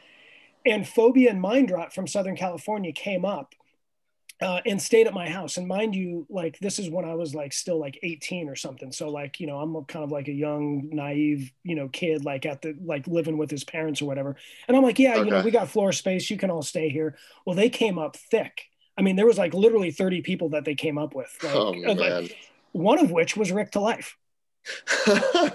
So, so then there's this guy who's, you know, with dreads and tattoos all over. And I'm just like, who is this dude? You know, I was like, is this guy from LA? You know, and he's talking about like New York hardcore and biohazard and all this stuff. I'm like, who is this guy? You know, or and you know, and later I was just like, man, that you know, that that was where That that guy just kind of like crashed at my house and like kind of rode with the phobia mind rot dudes. And then later, I'm like, holy shit, that's Rick Ta Life. You know, like when when they started playing, I was like, oh shit, Rick Ta Life stayed at my house, man, when I was That's like so 18. cool. you know, Uh, and again, it shows it shows you how the scene, you know, like phobia and mind rot, which are kind of like considered like grindcore, crustcore. He was into that.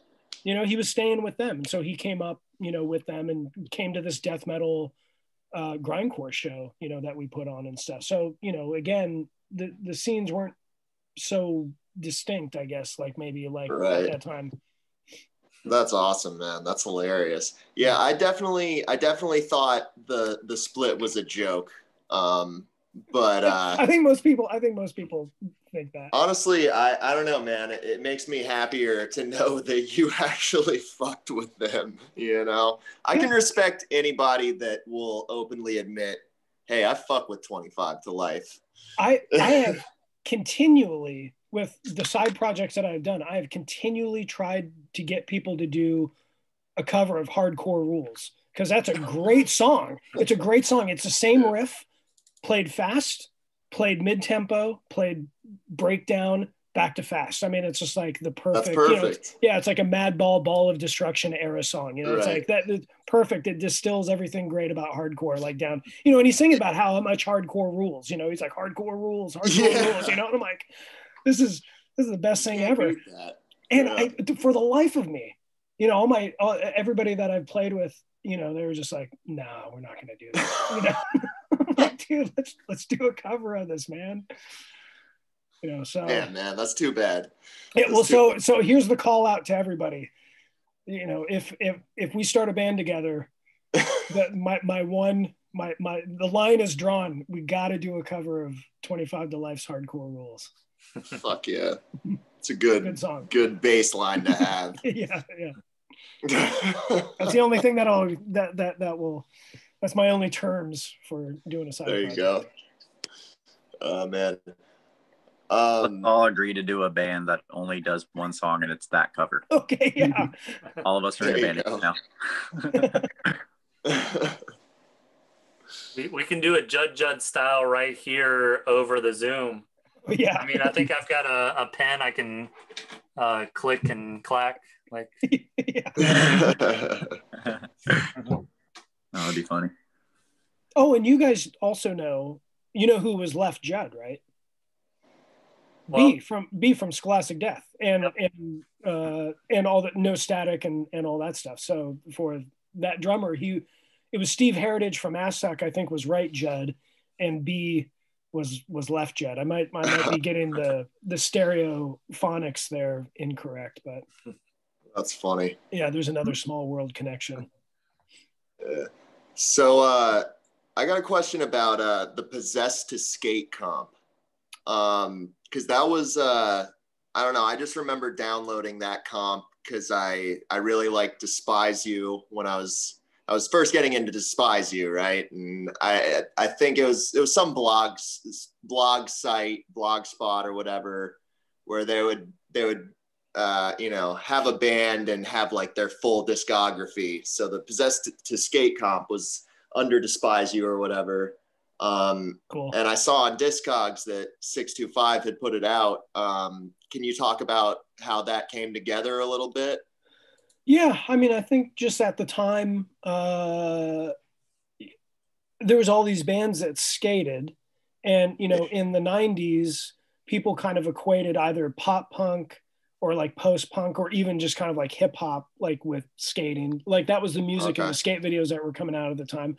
But there was, you know, all these fastcore bands that you know were playing that stuff, and you know. Uh, I mean, I guess the cat's out of the bag now, but Chris Elder, you know, before you couldn't say Chris Elder wasn't Despise You, but now, you know, Chris is an old like pool skater from Despise You, you know, so Yeah, we yeah. would, we would talk on the phone and he would talk about like Dogtown, you know, kind of stuff. And, and, and, uh, and then the Charles Bronson guys, they all skated, you know, and so like Oh, when we would cool. visit, like we, we'd take each other to skate spots and stuff. And so, you know, we, I think I, we were just thinking like, well, all these bands skate, you know, and they play kind of like this fast uh, kind of music, but it's never equated, you know, the two. So why don't we put out a comp, you know, as a, you know, homage to, of course, suicidal tendencies and like the old Venice, you know, welcome to Venice kind of stuff, but like, um, you know, basically with like really brutal bands, like not just, uh,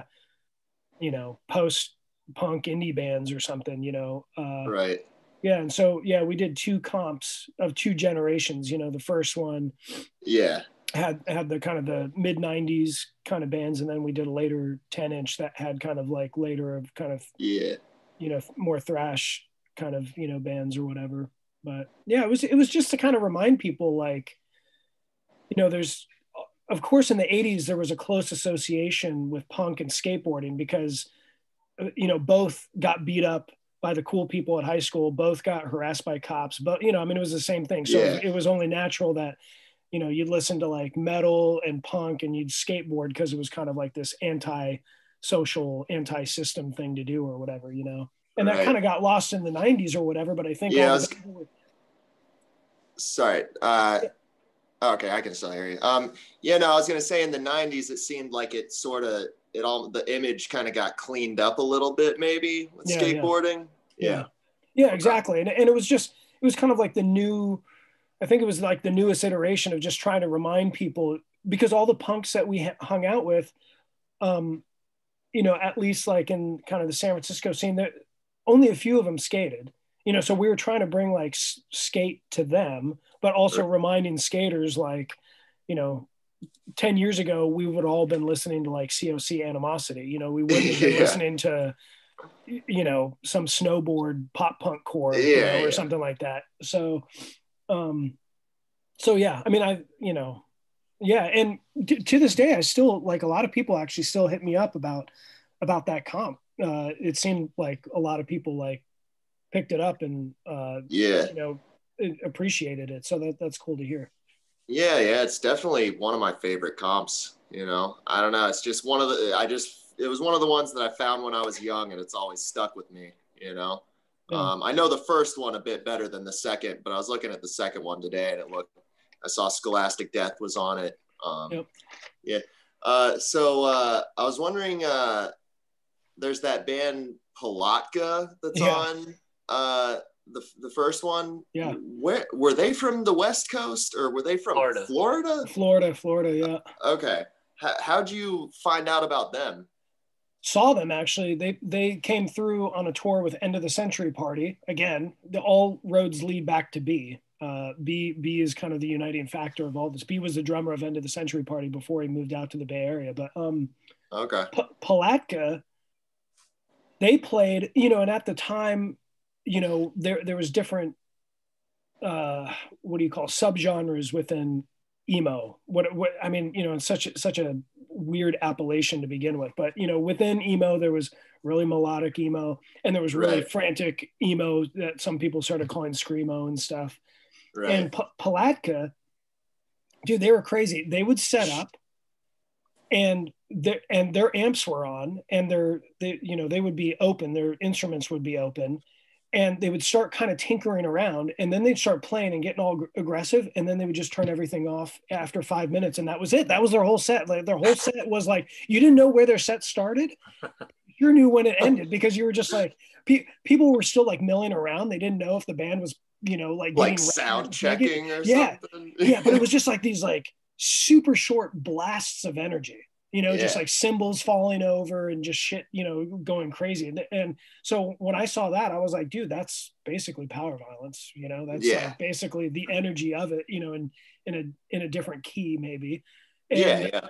and you know t- talking to them and they skated you know and so we're just like oh yeah let's you know let's do this and i, I know that you know compared to like maybe despise you you know and charles bronson or something maybe Palatka sits you know a little outside of that but you know at the time it was just um you know the They're just another fast band. Yeah, Yeah. yeah. yeah No, I um I always I don't know. Their their stuff obviously, you know, it stands out a tiny bit from the other stuff. But yeah, I always really liked their stuff on that uh that comp. And I've I don't think I've ever been able to find any other stuff by them online, which is unfortunate. But uh yeah, I always thought it was cool that you guys included them as well, since they're, you know, a, I guess people now would probably consider them scrams or screamo or whatever. But mm-hmm. yeah, yeah and Good you know we we we were communicating with that scene so you know like whether it was ice nine or Palatka, Reversal of Man, End of the Century Party, you know, these these kinds of, you know, bands. So we were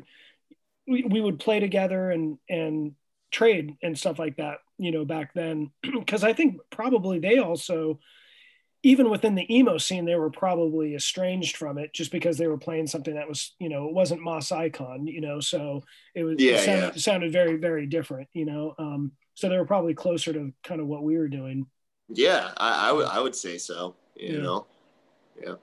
I saw CJ's eyes light up when he brought up Screamo, so I guess I'll talk about the only Screamo release I can think of on 625, which is Devola. Does that does that qualify as screamo? I, I it sounds like Screamo to me. Yeah. I mean, that Yeah. dude's vocals are like Oh, just oh. falsetto. just falsetto. they're so good. The, the whole reason I asked him to do the record is because of the vocals. Yeah. The- CJ, in- are you familiar with Devola? Nah, but it sounds like I have more homework to do. Yeah, it's it's like Jerome's dream that no one heard about. Ooh, yeah, it so the, how I knew about Devola was they there you know there was a great uh, label called Mountain Records that was putting out all this kind of like upstate New York and um, like New Jersey uh, bands, and they put out a CD of Devola, and it got sent into um, Maximum Rock and Roll, and the person I can't remember who reviewed it hated it specifically because of the vocals, and I was like, I was like, oh man, I got to hear this if it got this kind of review, and so I listened to it, and like just think of like the snottiest like Mark McCoy, like Charles Bronson vocals, but like to the hundredth degree. You know, I mean, it is just, it sounds like a five year old having a tantrum, like in your ear, you know? And I was like, man, that is so cool. That, like, it's super annoying. It's hard to listen to, you know? And I was like, oh, this is great. And so, uh, you know, I reached out uh, to them and, and, uh, and yeah, and saw them. They actually came out to California and played one time. And, um, yeah, just, you know, good, good people. But it was also one of those things, again, it was, you know, I felt weird that MR gave them a bad review and they were pretty fast and frantic and they were also doing something new and super annoying, you know, and I was like, oh shit, okay, I'm into it, you know, because that's that's what everybody was saying, you know, about, you know, the the bands that I was doing or whatever. Everybody's like, oh man, this is like unlistenable and this is fucking, you know, annoying or whatever. And I was like, so yeah, Davola, man. I randomly became AOL Instant Messenger friends with Matt Grand, and this is after he after Davola was a band, and I think he was doing like a band called The Exilar or something like that. Se- seemed like a nice guy. I lost touch with him, but early 2000s, I, I was internet friends with that one guy from Davola. Cool. Yeah, I Which- know. Also, yeah. great name, uh, taken from Seinfeld. Yeah, they, Oh, really? Yeah, Wait, what? Crazy That's Joe great. Davola. Oh, that's awesome. I didn't. I, I thought maybe I don't know. Davola. It sounds like a, the name of a flower or some shit. I was like, yeah. Um, speaking of band names, uh, there was a West Coast band called Max Ward, and I was wondering if you like the band Max Ward. Uh, well, do I like the band? I, I mean, you, uh, so yeah, I, I, uh, people, people told me at the time, you know, there's a band named after you, and I, I and I, you know, I thought that was pretty, pretty wild, and I, I the the way that I appreciate it is I hope they're taking the piss out of me, you know, that they're making like kind of fun of me. And their covers and their t-shirt graphics and stuff were really funny. They had like, you know, they had a funny picture of like, I think, you know, somebody had come over to the merch table and like took a picture of me at Gilman or something. And I happened to have all the change in my hand. So I tried to like fan it out and be like, you know, like have some kind of like fan of money or whatever. And they had, they had photoshopped it. So it's like this like huge fan of, you know, fake money that I have in my hand and and they took you know my graduation photo and made a shirt out of it and stuff and I thought like you know that's that's cool you know? That's awesome. Yeah. But what was funny was once once I was in grad school you know and I'm working with these you know these professors who are quite like scholars established in my field uh you know and like I hold them in high esteem and they're like you used to be in bands, right? And I'm like, oh yeah, yeah, you know. And they're like, oh, you should bring over some CDs and we'll listen to it. I'm like, no, no, no, you're not, you're not gonna like any of this. Trust me. You think maybe it's like Offspring, but trust me, it's not. Not even, you know, you can't listen to this. But sure enough, when they would do a search, it would be that band. And so they're oh, like, that's funny. so we so there's a band that we found on YouTube, you know, that like they're wearing ski masks. Is that you? And I'm like, technically no, but they're named after me. And so then, then I would have to I would have to go through a whole explanation of like, You're like, I- listen, the scene of music that I'm into, we like to crack jokes. Yeah, yeah, it's the spirit of me. Yeah, yeah, it is. Yeah, exactly. I was like, ah, it's not, it's not really me, but yeah. So they, they, they did, they did represent me to a whole slew of uh, academics actually in the in the mid 2000s. So thank you, and also if any of you Max Ward people are listening out there, I still want a shirt, man.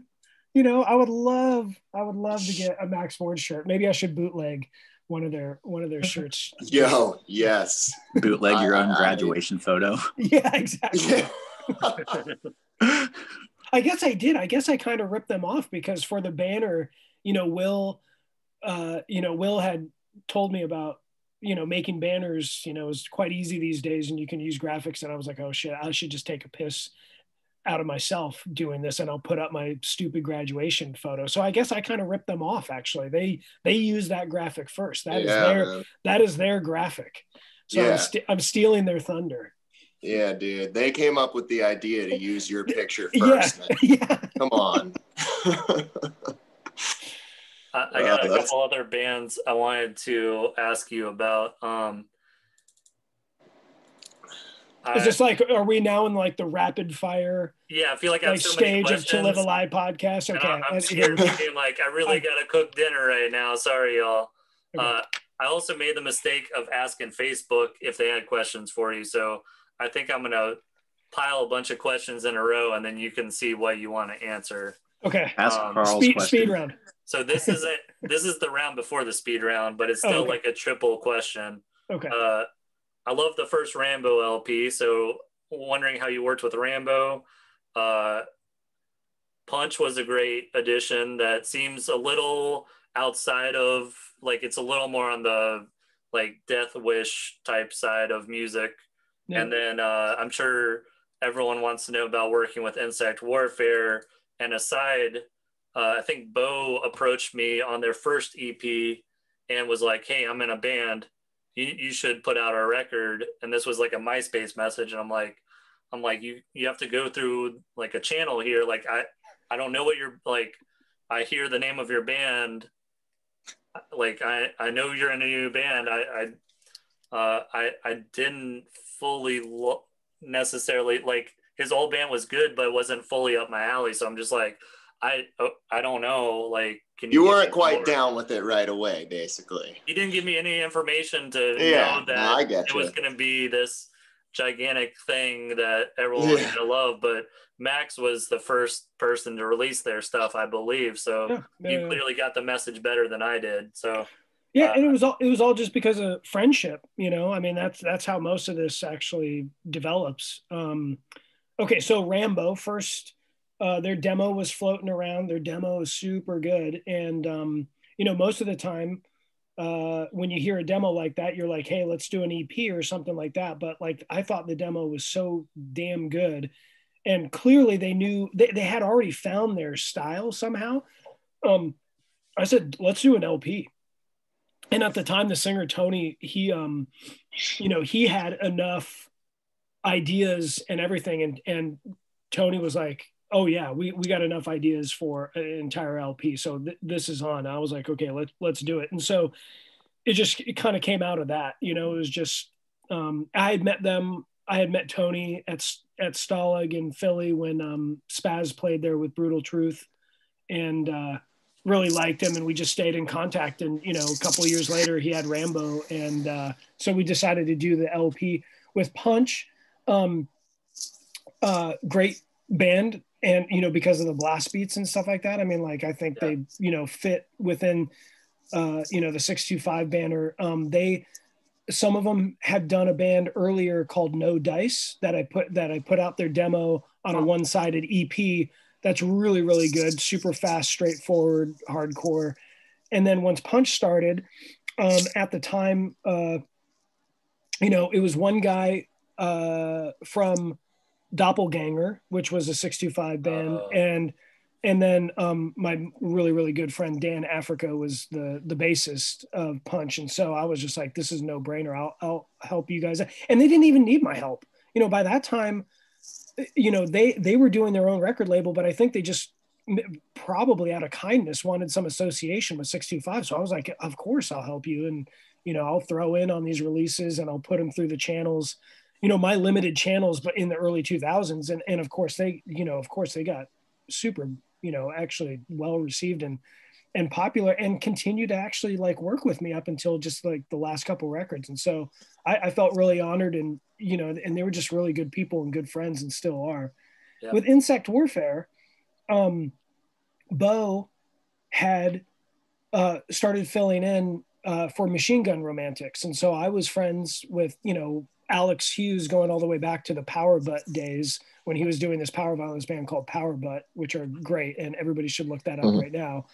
Um, and uh, and so Machine Gun Romantics came out to California and stayed at my house, and Bo was like super excited and he was just into everything. He was like, dude, I'm into like fastcore and I'm into this. And, uh, you know, I love Unseen Terror. Like the LP is like one of my favorites. I, love I like, I love Unseen Terror too. You know, he's like, he's like, I'm going to do a grindcore band. And so, you know, when he got back to Houston, I can't remember if Insect Warfare had already been playing by that point or it just started a little bit later. And he sent me like a rehearsal tape and I was like, dude, Bo, I'll do anything you want me to, you know, just, just you know, let me know. We can put out this rehearsal tape. We can do whatever.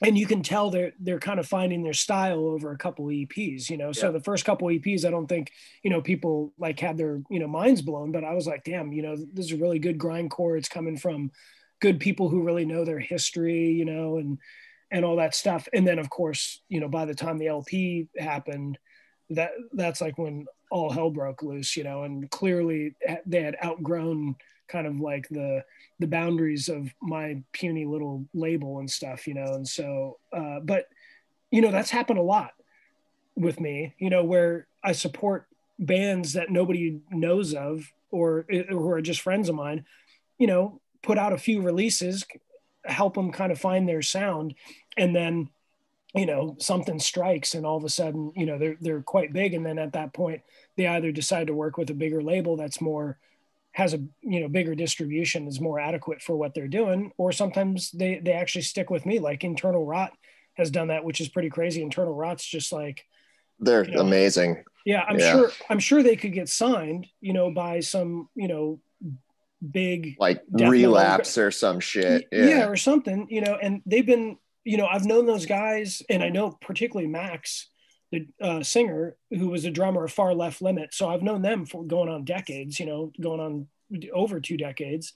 Yeah. And, um, you know, I'll support them until the end, you know, uh, yeah. if, if, if, they need it. But, you know, they clearly, you know, at some point, 625 is helping out a band and then the band is getting bigger. And then all of a sudden yeah. the band is pretty much like, we'll help you out, buddy. you know, like, we'll, we'll do, we'll do our next record with you because you know maybe you need the help. And i think insect warfare is at that level now. They're just you know so so good and people are finally appreciating them and stuff. So i mean that's Definitely. the best thing a diy label can do. I i look back at being an early music collector in like the early 2000s and seeing the problems with like i'll just mention one label hyper realist i saw pat break Baroness onto the world. And I never owned any of their records, but I saw like people were messaging me and was like, you live really close to, you live in the South. You li- don't live very far from Pat. I don't know where my pre-orders are for this. Like the whole world was waiting on these Baroness records that I think he was so slammed with orders that he couldn't get them out. And people were like, what the hell is happening? Like, it's it's awesome to have a band blow up, but there's like too much of a blow up sometimes. So like you and I run a label at a certain level, but yeah. the relapse like other label is just such a different beast that I don't think you or I can handle it that well. Like yeah. I know mm-hmm. you're not doing direct mail order right now, and I'm doing that, but it it's hard to sit on top of these bands that deserve a better distribution and uh, etc. It's like it's it's great to be able to blow them up into the world and let them do more than we could have done for them. Yeah, you you know I have to say I'm really impressed with Scotty Tank Crimes and, and what he did with Necrot. You know, like I love that fucking LP, man. Fucking great band. Really good people yeah. too. Really good people. And you know, like I I don't know much about death metal these days, or I haven't met like too many members of death metal bands over the last like, you know, five, ten years or so. But I can say they are good people, you know, and Sonny specifically, like since the word, word salad days, you know, is just like a fucking great person. And, you know, God love him. Uh, Scotty, you know, signs them, puts out their album, and you know, just pumped the crap out of it. Got him, you know, on the cover of Decibel, and you know, and all this stuff, and still doing it as DIY as one can at that level. You know, like Tank Crimes is still, you know, I mean, they're they're doing they're basically about the most active and biggest kind of like DIY. You know, still it is in his house. It is him and like you know Mark is helping him do the designs and promo stuff and everything, and he's doing the mail order, he's doing the order, you know, and all this kind of stuff. And and I'm like super impressed, uh, you know, by that. And it's hard. I think a lot of times for bands, I think it's hard for them to detect in the gray zone between keeping it DIY, not even DIY, let's just say authentic and honest versus that whole other realm where things are kind of taken out of your hands and it becomes like this weird uh, you know i don't even know what it is business most definitely. Yeah. But there's a gray zone in the middle of that. And i think it's really hard for like particularly new young bands like they get kind of lost in that gray zone and they'll make some bad decisions. And next thing you know they've you know they owe tens of thousands of dollars to some record label you know that they sold their you know soul to or whatever. But um yeah. but you know, like Scotty's an example of, you know, of like being able to like put out a quality death metal record that is basically as large as you can get and still, you know, have this fanfare, you know, and like lots of support and, you know, they're touring internationally and they're doing all this stuff. And I, I you know, I think that's, that's great. Not everybody, you know, can do it. And also just watching Will's, Instagram feed every week of you know him brutalizing his mail person with you know three bins of you know mail eh, you know every week of course you know i'm sure will you you get tired of you know doing that and it can be exhausting for a lot of people you know and well, you know at the end yeah the funny thing is some of the things that i should have broken into the world i can't always break out there because mm-hmm. i I have such a big mail order that there's less time for the promotion. The a good example is the Realize LP came out. Like I did a demo LP for the band Realize, who's members from Sex Prisoner, and uh, it's really cool Godflesh industrial worshiping stuff. And I sat on those records forever. They got signed to Relapse and blew up instantly, and those records flew off the shelf where I should have done a better lab- job as a label to say, hey, like this is going to be the next big thing. Y'all don't even know. Here's here's why you need to check this out. And I I know there's downfalls to what I do. Like probably both of us. Like you, of course, you feel like you want to do the most for the bands you're working with, and there's only so many hours in the day or uh, etc. I'm sure CJ feels the same thing too, but all you can do is just yell from the cliff as many times as you can and hope someone hears it. Like, uh, I mean, I, am lucky to have worked with like ACX DC who blew up, Sex Prisoner who blew up, uh, Magrudergrind, Magruder Grind from the beginning. Uh, this band Spy that I just put out, first release yeah. blew up. Uh, Dude, that shit's hot. Everyone's fucking talking about that thing. It's it's great to hear, man. I love and it. There's other things that should have blown up. Like, I mean, everything I put out should have blown up. But I agree. Uh, oh, dude, Thanks, man. Makago NT, especially that Leachate. I caught that just sitting around. No. Got to rent my own merch. Someone yeah. has to. Yeah, I, I respect that shit, dude. But like the Magnum Force EP I put out, it's uh this band from Arizona. It sounds exactly like Magrudergrind. Like, like, yeah, they really do. It's funny. You put them side to side, they're very similar. Uh, it's pre Coke Bust. James moved across country and ended up being the guitar player, the second guitar, not the second main guitar player. he replaced another guy. he replaced basically. their guitar player. Uh, and that EP sat around for a year. I sold like the first like 20, 30, 50, whatever. Then it sat around and then people finally woke up to it. So it, it's weird how things just sort of some takes time. Sometimes people never I'm gonna go in your room. jump into it, but uh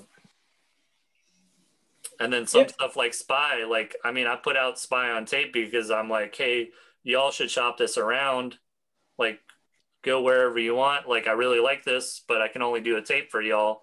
The tape sold out instantly. I did a second tape, sold out instantly. Finally put it on. I'm like, we have to do this on vinyl. Like, yeah. I have no questions that this will do well. Yeah. Uh, six Yeah. minutes in, the limited color sold out. Like two Holy days fuck. later, the whole press was sold out. Um, which is not that weird. Like I put out this band Terminal Youth from uh, Boston, and if you look back, they're actually like them.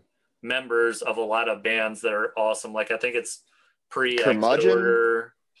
Um, I don't think they have curmudgeon members. Okay. Uh, but uh, oh, I'm spacing on names, but I can see his face. I think the one guy went into Exit Order. I think maybe someone went into Boston Strangler. Like it was, it's like Oh wow. the best like Boston bands that blew up out of there had dudes in uh, Terminal Youth, and I think they did a word salad split on Moo Cow Records too, if I'm not incorrect. Um, I'm forgetting what my original thing I was talking about is now, but I feel like lots of stuff, and I, I'm sure you've seen that too, Max. That you're just like, I put this out. Like, why is not everyone just like, holy crap about this, like I am? I'm gonna And go in your room because I got to charge. Yeah, I mean, all, all you can do is just, you know, do your best and just kind of do it authentically, you know, and stay true. Like I'm trying to still, you know, 30 years on, I'm trying to stay true to kind of like the original kind of ideals of 625, and that's like supporting newer bands. And so, you know, some bands uh, get a lot of attention right away, and that's great, you know. But there's going to be a, there's going to be a bunch of bands that I'm going to put out that I know of. It's going to take you know some time for them to get attention, and and that's okay, you know, and just Yeah. try and kind of promote them as best I can. You know, if people like it, people like it. If people don't like it, that's okay too. But you know, I'm just trying to get the stuff out that I want to support, and um, and uh, you know, I mean, truth be told, you know, nearing 50, I probably don't have my thumb on the pulse of what, you know, the young kids are listening to these days. All I know is basically, you know, a lot of my friends' bands that I still want to support, a lot of the bands that kind of carry the spirit of of the things that I was into like in the in you know in the 80s and 90s and stuff and that's what I'm going to focus on it. You know, if it if it blows up, it blows up. You know, if it doesn't, that's okay too, because that's kind of what you know the history of 65 has been as well. You know, for every for every uh, I don't know, I'm you know, I'm trying to think of like what's blown up. Like let's say Rambo or uh, you know what happens next record or something like that has come out. You know, behind that there's 10 or 15 smaller bands that I've put out. You know, and it's because of those bigger releases that I'm able to then put some of the money and energy to these smaller things that you know I might have you know in stock over maybe a year or two or something. Um, but that's you know that you just try and kind of balance it out, you know, and uh, yeah, th- th- that's what I try to do too. And I know some people hate on like ACXDC is not their idea of a straightforward grindcore band, so they'll uh, make fun of them, especially because they're popular. But I both like the music, I like the people, and it will sell. So it, I can take this and reinvest it on the new up and coming bands, and I, I love the ability to do that. yeah, you know Use that when I ACDC money to fund my band. yeah. yeah I, you know when That's i was younger and and like so kind of in my small world of you know collecting the, the there was only like three grindcore bands you know agathocles napalm death and fear of god you know and so you get into this like super small world you know and you're like you start hating on other stuff and you know you like you know for me like it, it wasn't like i was you know publicly saying i hate this band or fuck pop punk or something like that but you know you get into this small stuff and start hating on stuff but you know the older that i've gotten you know the more i realize it just really important about the people who are in the band you know and like if they're good people or bad people you know that basically is the main criteria for um, who i want to work with these days is just like do i click with these people? Are they kind of like doing it in an honest authentic way? Or is this like some kind of cool thing that they're trying to promote or something that's maybe not really my thing? You know my thing is more about these people who you know don't really care about like getting popular or anything like that you know? So um, even even for the people who make decisions about you know maybe making business decisions that i don't necessarily agree with um, if i think they're good people and i trust that they've made that decision knowing full well what's been sacrificed by making that decision, then I trust them that they've made that decision for a reason, you know. And so i will I'll give it to them, even if I'm not going to run my record label that way, or, um, you know, or, you know, yeah, you know, that it's just a kind of a different world that they have now moved into. But you know, they've made that decision, so that's okay. And if they're still good people, then they're good people. You know, I mean, the worst thing is, is yeah, I'm sure all of you can relate to this, you know, where there's some like local band and they're like young, you know, and you watch them kind of growing up and you, you love them at the beginning and, you know, and then it gets a little kind of complicated and they're seeing politics and then all of a sudden they either sell out or do something and you're just like, fuck, man, you know, like yeah. yet again, there's like this trajectory of like what could have been good and honest and, you know, people make bad decisions and, you know, turn into some bullshit, you know, corporate, uh, you know, underground band or something. You know, it's it's it's unfortunate, but North Carolina bands don't last that long. yeah, that's true. we, yeah, that's funny. CJ, you were saying something. Um, I forgot what I was just saying, but I did I did have something I wanted to run by Max. Well, two things. Um, what was cool about you know doing my homework earlier on the label slash whenever we were talking about gummo earlier uh, it it clicked for me that the same person who showed me gummo um, also got me into a lot of 625 bands but it was never like oh check out this label it's like hey check out bloody phoenix check oh, out six. plutocracy check out um, agents of abhorrence. Uh, yeah. that was my buddy aaron DeShield. Shouts out aaron. Thank you um, aaron. another tie-in uh, that band i mentioned earlier that me me and kj were in we were called ragweed. Aaron was one of the main songwriters for that band. So i'm like well look whole world's getting just a little bit smaller. Yeah that's pretty yeah, cool. Yeah you know i mean but that's, um that's how it is um, particularly in, a scene like this you know if you travel you know when i was going to japan before i could speak japanese like you could communicate, you know, because there there were people there who had been ordering tapes just like you and into it, you know, and trying to get their friends into it. And maybe some of their friends were like, this is shit. I don't want to listen to it. You know, other people getting into it.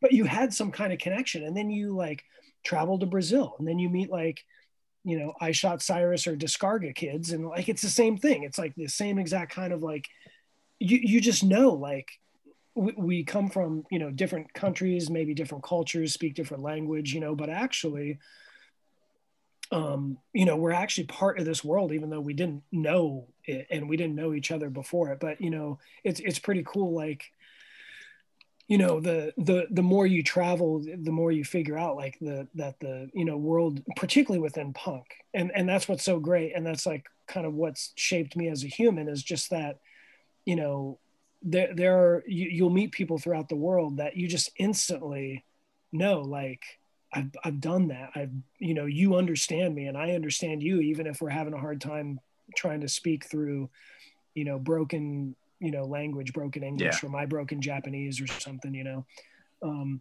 so yeah you know at the local level as well as the international level yeah before so, I get to my question actually just what's funny about Japan specifically is I think my band just had our first what could be a uh, Japanese connection. Um, because I sell all all of my band's merch through uh, Bandcamp, so I'm mail order everything, and uh, we just had this Japanese reseller um, buy out like all of our CDs and everything. And I just found the website like two days ago, and I was reading like the Google Translate version of their uh, review of of the um, album, and I was like, "This is this is so cool to see the words that I know." Also being compared to bands like Sulfuric Cautery, they're like, "Oh, yeah, this." I was like, "This is fun. This is great. I love this." Yeah, But, and, uh, see, and see whoever's writing that review really knows that world, you know, and so they can Yeah. make those connections. You know, like who knows of sulfuric cautery? You know what I mean? Yeah. Like oh, there's probably like does, yeah, yeah, you know, there's like probably like you know 500 people, you know, who are like diehard fans of that band, you know, or I mean probably more, you know, but and But one still. of them is that Yeah. dude in Osaka. He gets Yeah. it. yeah, Yeah. awesome. But uh, a question I had for you, a spazz question. So, uh, I, I do not remember the song, um, but there's a lyric Hmm. that is about uh, this this guy I know. His name Finn McKenty, and Oh, yeah. about his his mom yodeling in the bathtub. Um, because I know, like, I, I guess I don't know a lot, but what I know think I know is that like all y'all are friends or something like that. So how did how did that come about? Well, he he wrote us. I think we just started, you know, back in the day it would have been called pen pal. I mean, now it's just like you email or maybe DM, I guess is the new term. But you know, back then you actually had to write letters, you know, and so you know, Finn McKenty uh, was living in Washington at the time, Washington State, outside of, and he was into like graffiti, hip hop, metal, and hardcore, and there was just all these references that he saw in Spazz Records that also made him know that like, oh, this is all the stuff that I'm into as well. So he wrote us and he came down and visited us, and uh, I think he was maybe a couple years younger, you know, at that time, and he was just um, along with Jeb actually to get back to the Jeb EP, like along with Jeb from the Crass Menagerie, he, you know, he was just like, uh, you know, not only a Spazz fan, but like just like part of our, you know, like he got it. He got, you know, he he he was trading photos of, you know, bombed freight cars, you know, in Washington and sending it to us, and we would send, you know, like, you know, things from graffiti walls from San Yeah. Francisco to him or whatever. It was just, you know, it clicked, and so he came down and visited a bunch of times, and so, you know.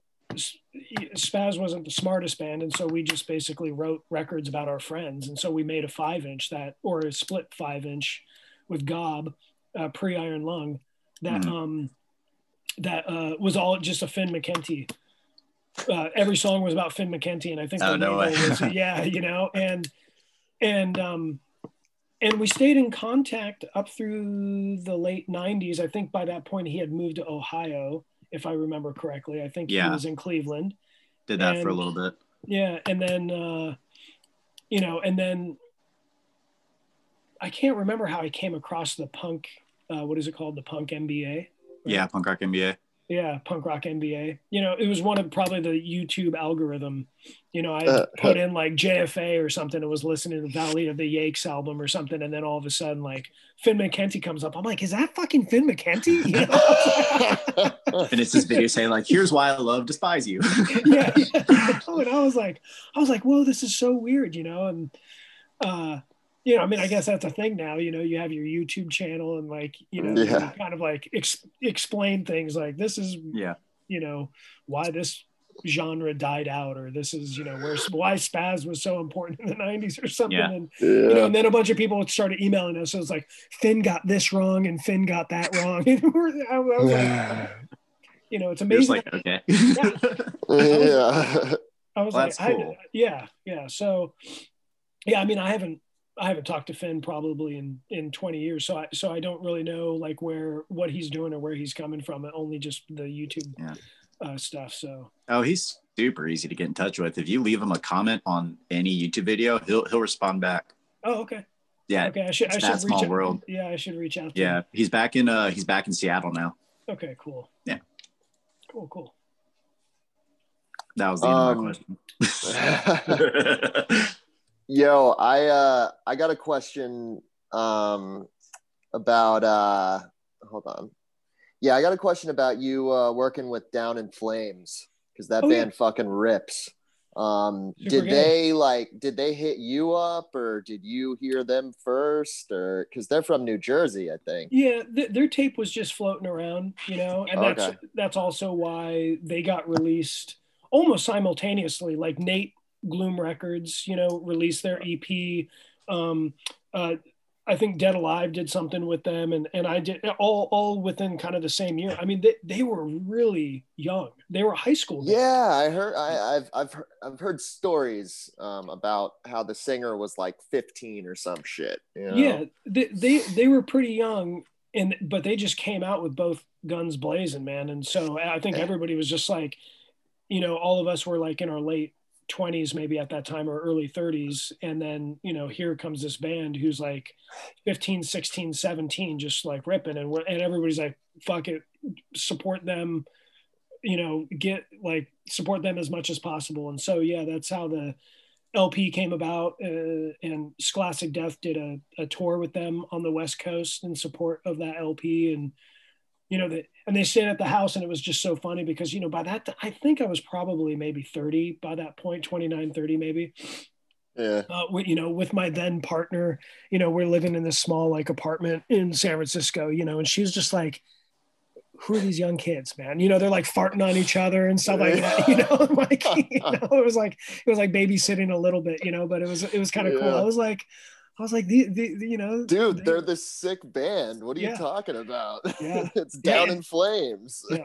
Eli, you want to hear a small world Yeah, what's up? situation here? Uh, you are on a X Down in Flames comp. So Oh. Ian Thompson is on To Live A Lie in, Volume uh, Two. It- on in that band Soft Dove. Yeah. Hell yeah, they were sick too, man.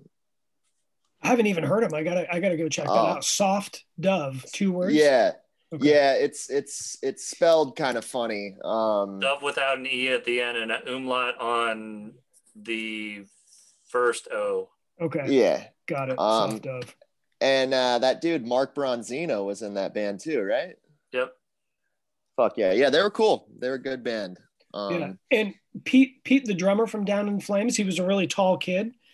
Uh, whew, he was friggin' fast, man.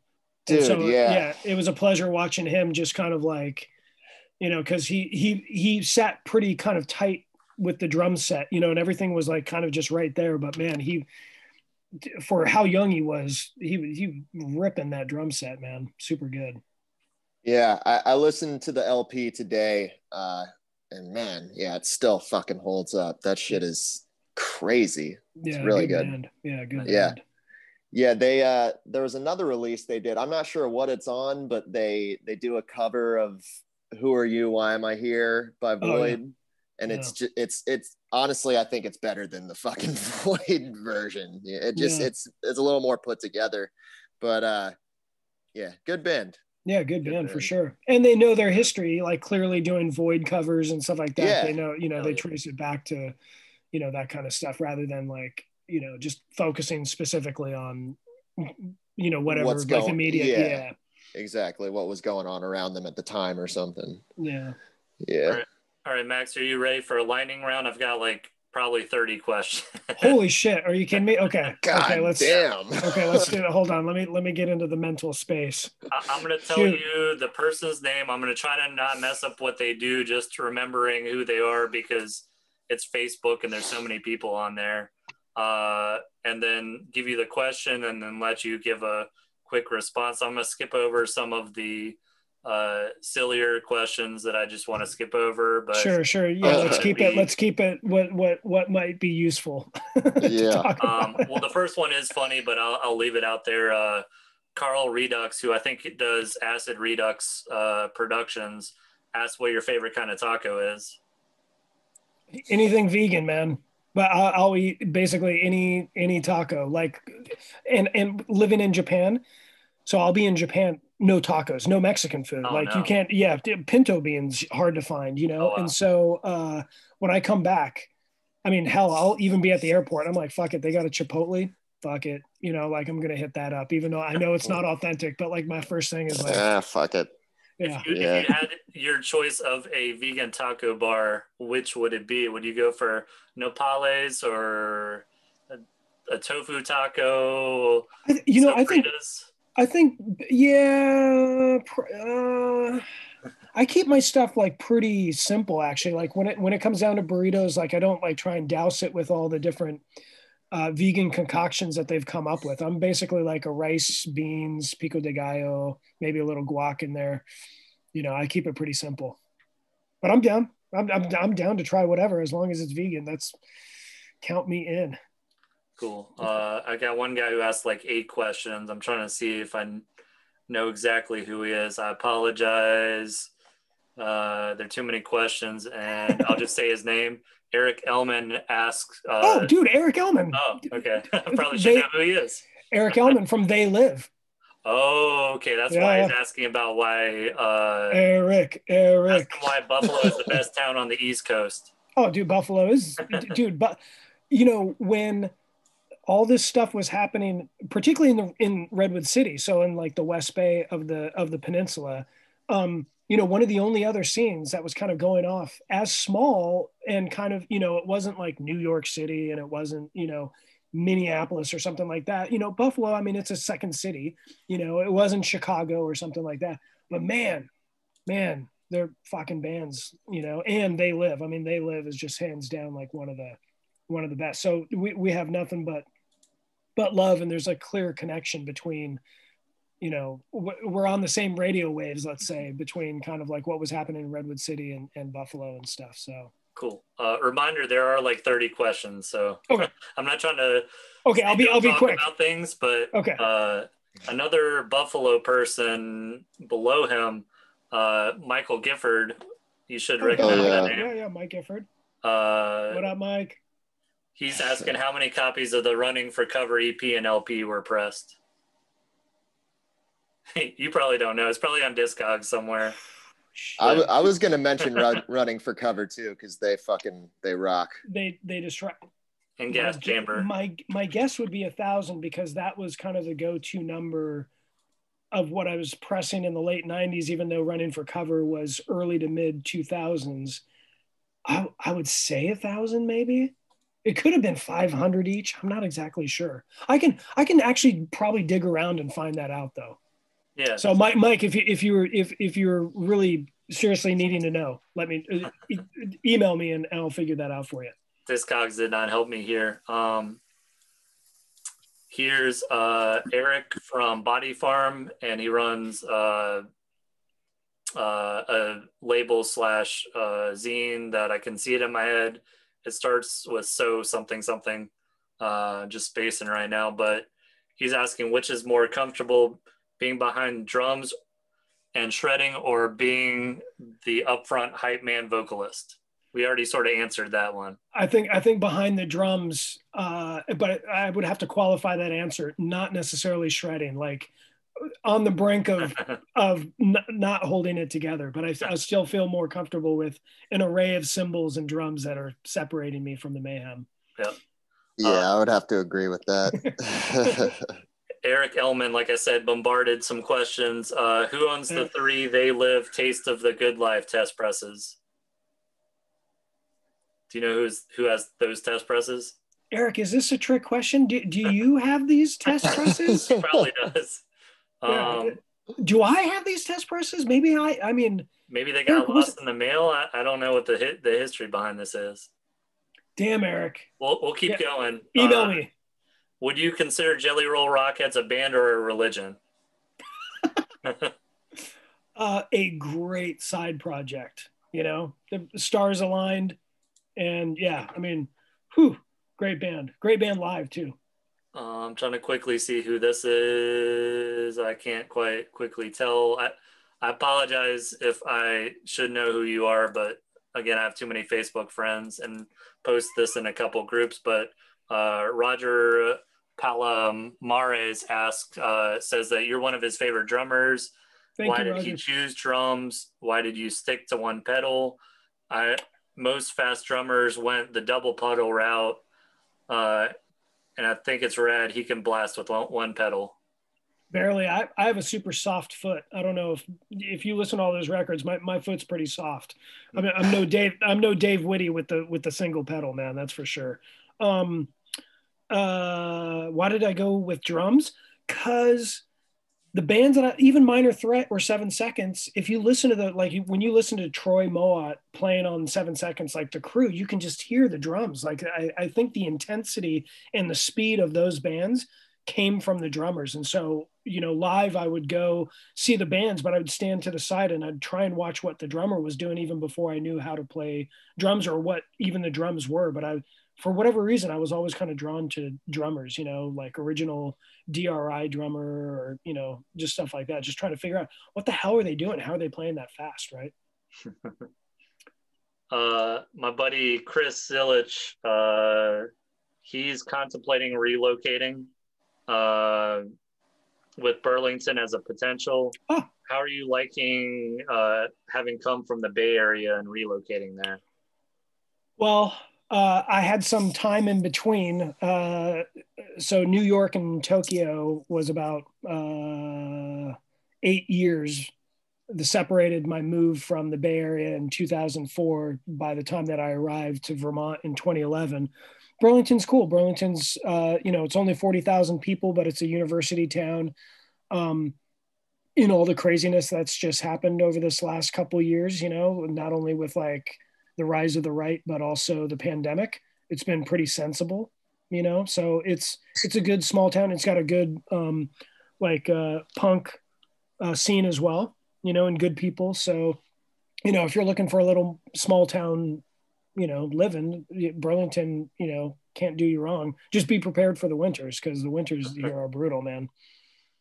Yeah, he was living out in Seattle a while ago, so I I don't know if that's the same kind of winter, but uh, it, it's rain out there, but I mean it gets cold, man, because we're right on Lake Champlain, so we get the lake effect, and it just comes over and just freezes uh, yeah. down, man. All right, to keep things up going, uh, here's a buddy from Winston Salem, Michael Magdan. Uh, I'm bad at last names. Magdaleno asked about uh, how about them hogs. Does that mean anything to you? How about them how, hogs? How about them hogs? Maybe All I can think I, I, would say, I would say in relation to that, I would say uh, great band Nuclear Armed Hogs with uh, Ken Sanderson from Prank on vocals playing with the Schlong guys. So that go go go listen to that on YouTube. Great band Nuclear Armed Hogs, and they actually played a Fiesta Grande, I believe, as well. Uh, Jerry Gutierrez says, uh, "Dude, Jerry, you, thank you." Yeah, I love Jerry. He takes photos, Jerry. right? He's a photo guy. Uh, oh, yep. Yeah. It looks like he plays music because Wait, I see how. Is it, is it not the 976 drummer? Uh, he's got a bass in front of him in a picture. Hold on, hold on. Am I getting my Jerry's mixed up? How can I get my Jerry's mixed up, man? He looks very familiar. Let me look to have messaging with him. I don't think on Facebook. Yeah, yeah Jerry Jerry nine seven six man. Like Jerry Jerry and I go back like oof, thirty plus years, and he he was you know I mean uh, still a close friend and somebody that I look up to, and taught me a ton about drums and just being a good person, and just he's rad man. He's rad, and also the drummer of uh, Evolved to Obliteration, that band that I oh, tried cool. to sing horribly in. But yeah, Jerry was a drummer. Hell yeah. Yeah. Uh, I hope to. I, I, wish I could play with Jerry again, man. That, that's like a dream. Shit. I assume this person's not got his real name on here. Someone from Arizona. His name is Christ at War, which I'm guessing is just the internet name. But uh, he asked about a Spazz reunion, which I'm guessing is a no. No, you know what? Spazz is is is best enjoyed with all the samples on a record. You know, you don't want to see a bunch of middle-aged, slightly flabby guys trying to play fast who who probably can't play that fast anymore anyway. I say let let the young bucks do it, man. You know, like I, know, I, saw, I saw Chris playing Infest. He still plays fast, plenty good. Yeah, it's true. It's true. You know, he's plucking he's plucking the four strings pretty, and also Dan. You know, Dan's playing in Hard Foul and doing like a bunch of bands. I, I guess uh, maybe I didn't. Okay. Yeah, I me, love that me, fucking split, man, with yeah, these bastards. Yeah, yeah, they're, they're it's an awesome split, man. Yeah. And uh, yeah, I guess maybe I should just speak for myself. You don't want to see me the middle-aged fat drummer trying to play uh, that fast anymore. Because right. yeah, who who wants to be let down, right? It'd be like, oh shit, we go, let's go see Spazz, and then you see it, and you're like, mm, it wasn't very good. We're, and I will take all the credit for that. we're like a third of the way through. Uh, David Tamio Jr. Did he enjoy feederz, and did he ever watch them live? Feederz, the band Feederz. Yeah, it seems so. Oh yeah, I mean, dude, Feederz. Uh, I mean, that's like legendary. Feederz. Uh, I don't think I've ever seen the Feederz live though, unfortunately. But I had their had their records. Good old uh, Teachers in Space and uh, Teachers in Space, right? I got that right. I think so. Uh, let's see. It looks like this person's from Egypt. Uh, Seibak Gwai uh, asked if you'll redo your high school graduation hair. You, you don't look like you have the problem I do, so you could probably grow it back out. Oh yeah, uh, yeah. I mean, but with people with curly hair, though, I mean, really curly hair. The problem is that mid length. I mean, I, I will have just. It's not even like an afro. It's just going to be some weird kind of something. So I think I'm going to be sticking with this for the rest of my life. uh, let me see. I had the other ones queued up there. I posted in the six through five group that I started and my page and the To Live A Lie page. So I got a couple different places. Uh, Marlon Yeah, well, you're doing Moreno. Oh, sorry. Uh, Marlon Moreno. Uh, why hasn't he done a proper Life's Halt Discogs? Why hasn't anyone done that for for that matter?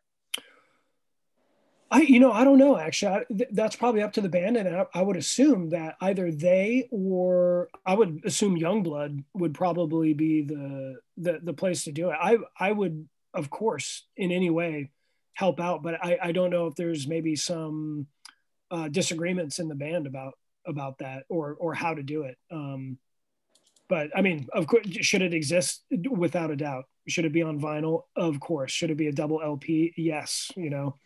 Well, it sounds like you should reach out to the band, is what I'm hearing. Okay, I can, I can, I can try. I'll, I'll, I, I, I I know, I know where some of them are, so I'll reach out to them. Uh, Count me in for a co-release. Yeah. I'm gonna I'm gonna jump Yeah, over a bunch of people here. Uh, I got a good one here. Uh, Aaron McDonald, ask him if if what's his face from Green Day actually did steal his drum stool, Tré Cool or whatever. Uh, I remember hearing that somewhere. Yes. Uh, that is the content of. That's the that that's the meaning behind the Spazz song "Thrice the Heine." Uh, when when Plutocracy, I think it was Plutocracy, played with M, uh, Mr. T Experience uh, when he was playing drums for them. Uh, they showed up without a drum set and borrowed my drums, which I'm totally fine doing. But uh, when they took off, uh, my throne was gone, and I was like, "Huh."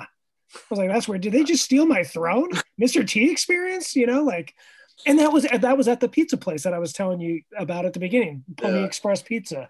Yeah, so it was a Plutocracy Mr. T Experience show, if you can believe that. wow. Yeah, uh, minus minus my drum throne. Uh, we got Not one okay. No, from Fabi Han, who I think is doing the Scholastic Deth discography on tape or yeah, yeah, something yeah, like Germany, that. yeah, yeah. Uh, he's asking about your Lonely Island. Uh, if you have to go to Lonely Island and you have to take the discography of one band with you, uh, which one would you choose?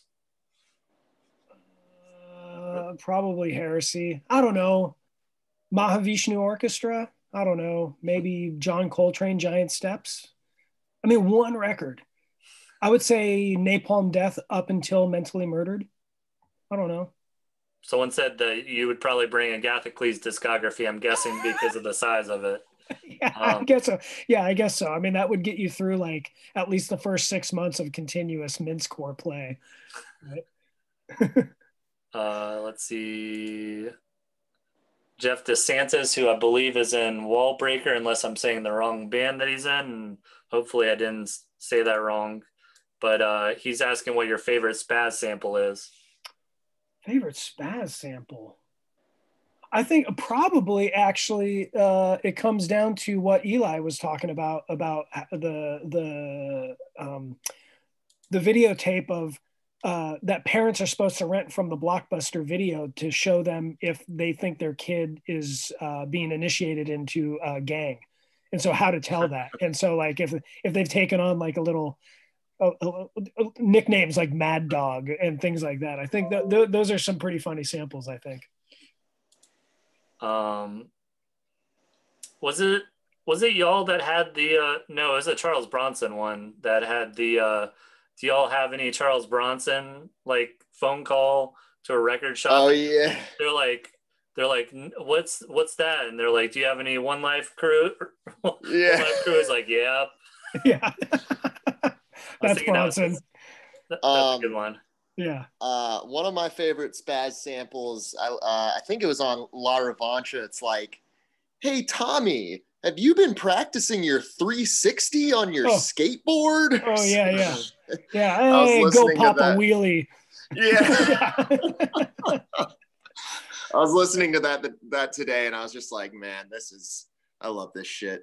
yeah yeah between the three of us we would just scour you know and this is before the internet so you had to get everything on like vhs or like audio tape and so we would bring Yeah. into the studio just stacks of stuff and have to drop it onto analog tape you know to do it all uh, and bart thurber who's the best engineer love that guy and he's still recording um, used to splice it in splice it into the actual master one inch tapes you know all those samples man and it was because of bart's magic splicing techniques that that you know that that we were able to do all those uh, samples you know yeah, I love them. Definitely, I don't know, it, it, it just adds something to it, you know? yeah The hip hop yeah. samples along with the funny ones, you know? Yeah yeah it just it, it it worked for whatever reason you know but we were bringing all our influences and our humor different humor right you know but still the three of us all contributed to that and it and it you know it kind of clicked when you hear it all back to back you know Yeah, for sure. All right, there's still a ton of questions, so I'm just gonna say the questions and then whatever you want to pick up later and talk Okay. about is fine. okay Um, someone's asking about your favorite 625 release. Someone's Okay. asking about signing up for your Japanese history class, how to do Oh. it. yeah Uh, Matt Needles from uh, Chest Pain uh, is asking who's the fa- the fastest drummer you've seen live. Hmm. Um, I, I know you're gonna want to answer some of these, so just feel free to jot them down or whatever. yeah that's what i'm Um, doing right now uh, Rudy, uh, I'm totally spacing on what label he does. Uh, Carrillo, uh, what was his time in the meat shits like, and did he ever regret it or have a good time? Um, someone said that he didn't think you liked wa- talking about that, so feel free to skip over that if you want. okay Um, what were Dan and you like in high school, and who did they, and who did they start jamming with originally? I guess there's a good story behind that. Um, earliest demos he and bands played with. Uh, this is all Rudy. Uh, God, I, I should know. Here, I'm just clicking through. My my brain doesn't always click in who people are, but I know Rudy, and I'm just I'm spacing. Uh, well, I'm just gonna read all his questions then. Um, uh, how much did he make from the sake of his once les- legendary record and demo collection? I guess you sold off your records. Uh, yeah.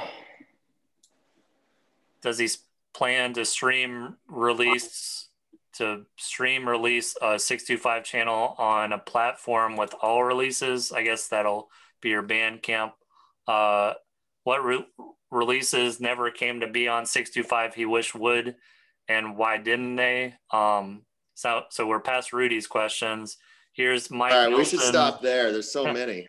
yeah but there's still so many more like i'm gonna just Well, blast we'll have to do a part two or something. I don't know. I'll, I'll i'll rip through this quick yeah. uh, signing up for a history class uh, if you're a middlebury student easy enough. If not there's maybe ways to do it. You can email me uh, maybe even email the registrar. You can audit a class. Nice. uh, uh, fastest drummer. I, maybe not the fastest but one of the best drummers i ever saw live was matt from capitalist casualties because he played open open handed So when he went fast, it wasn't, you know, he wasn't crossing on the hi hat. He was, he had his hi hat and ride, and he hit hard, you know. And so when he's hitting blast beats, it's not like wrist. I mean, it is like full arm blast beats and stuff. I mean, he he he was punishing.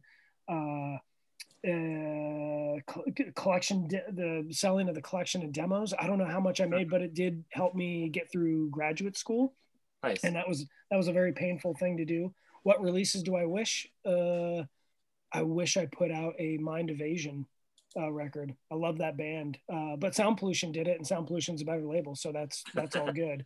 And I, I wanted to do the charles bronson lp too because i just i loved them and they were close friends. But you know of course lengua armada and martine you know is the obvious choice there and also you know a bigger label. So uh yeah. Uh, Okay. okay. I'm gonna do one last big batch. Uh, okay okay. uh, Mike Sorry, I know I missed some stuff in there, but No, that that works. Mike Nelson from Gasp asked if he misses uh, pounding 40s and listening to Rorschach in the car with you. He said to tell you hello. yo, what's Um, up? And get, I'm still pounding 40s and listening to Rorschach, dude. Uh, let's see. Jack Rice asked uh, 625 as a graph crew pre-label. Yes, Or I guess you're throwing graph for 625 before you did the label is what what that's telling me maybe. Um, yeah, yeah. The the label was, was supposed to be called West Bay Thrash, but I was talking to from Frank of Agents of Satan. He's like, you can't call it thrash because everybody's going to think it's thrash metal. And I was like, Yeah. fuck, man, what do I call it? And so at the time, there was a graffiti crew OAK over overthrow all kingdoms that on a phone. If you spell out OAK, spells out 625, and I was like, fuck it, I'll just call it 625 for now. Huh. Yeah, yeah. I assume that was your area code for some reason. But yeah, that's what I was know. thinking. Yeah at the at the time that i started 65 i think the entire bay area was 415 but then it switched to uh 650 Hmm. uh Uh, Andrew Neighbors' favorite Slap a Ham release. I'm gonna just go ahead and go through them. okay Uh, Patrick Trainer, is there any unreleased bombs of death material hanging around? And can we have it, Good please? good question Uh, Tommy Wall from uh, Tomb Warden up in DC. I love is Tommy. asking uh, anything and everything about bombs of death. So we got two bombs of death questions. damn Uh, getting towards the end, Lisa Oglesby, which I, I lisa mentioned that we Lisa! shout out. Yeah. Uh, Oh, that's the ebullition yeah person. yeah lisa Yeah. Cool. she Hugs she's to listened Lisa. to every To Live A Lie podcast. So big Oh, shout sweet. outs. Yeah. Yeah. cool. That's awesome. Uh, she thought she was too late to ask a question. I told her she wasn't, but then it's been 30 minutes since then. So it's probably too late to ask a question. So just giving her a shout out. And then uh, Nick from Coke Bust said it'd be uh, n- not a question, but he thought it'd be funny if you pronounced it 625 instead of 625. oh that's good or what 62 and a half maybe but uh, that's surprisingly all the questions we got. So uh, cool so favorite Slap-a-Ham release? Damn man. That's a tough one. I but, i mean probably neanderthal you know? I mean but there's so many. Um i like the ones that go under the radar too. The An- Anarchus uh, monastery split LP. I didn't know that. oh dude great great death metal. Early early death metal uh Anarchus from mexico uh, put out probably one of the best EPs ever called Final Fall of the Gods. It sounds like Septic Death, but but like death metal. It's crazy. Um, Bombs of Death.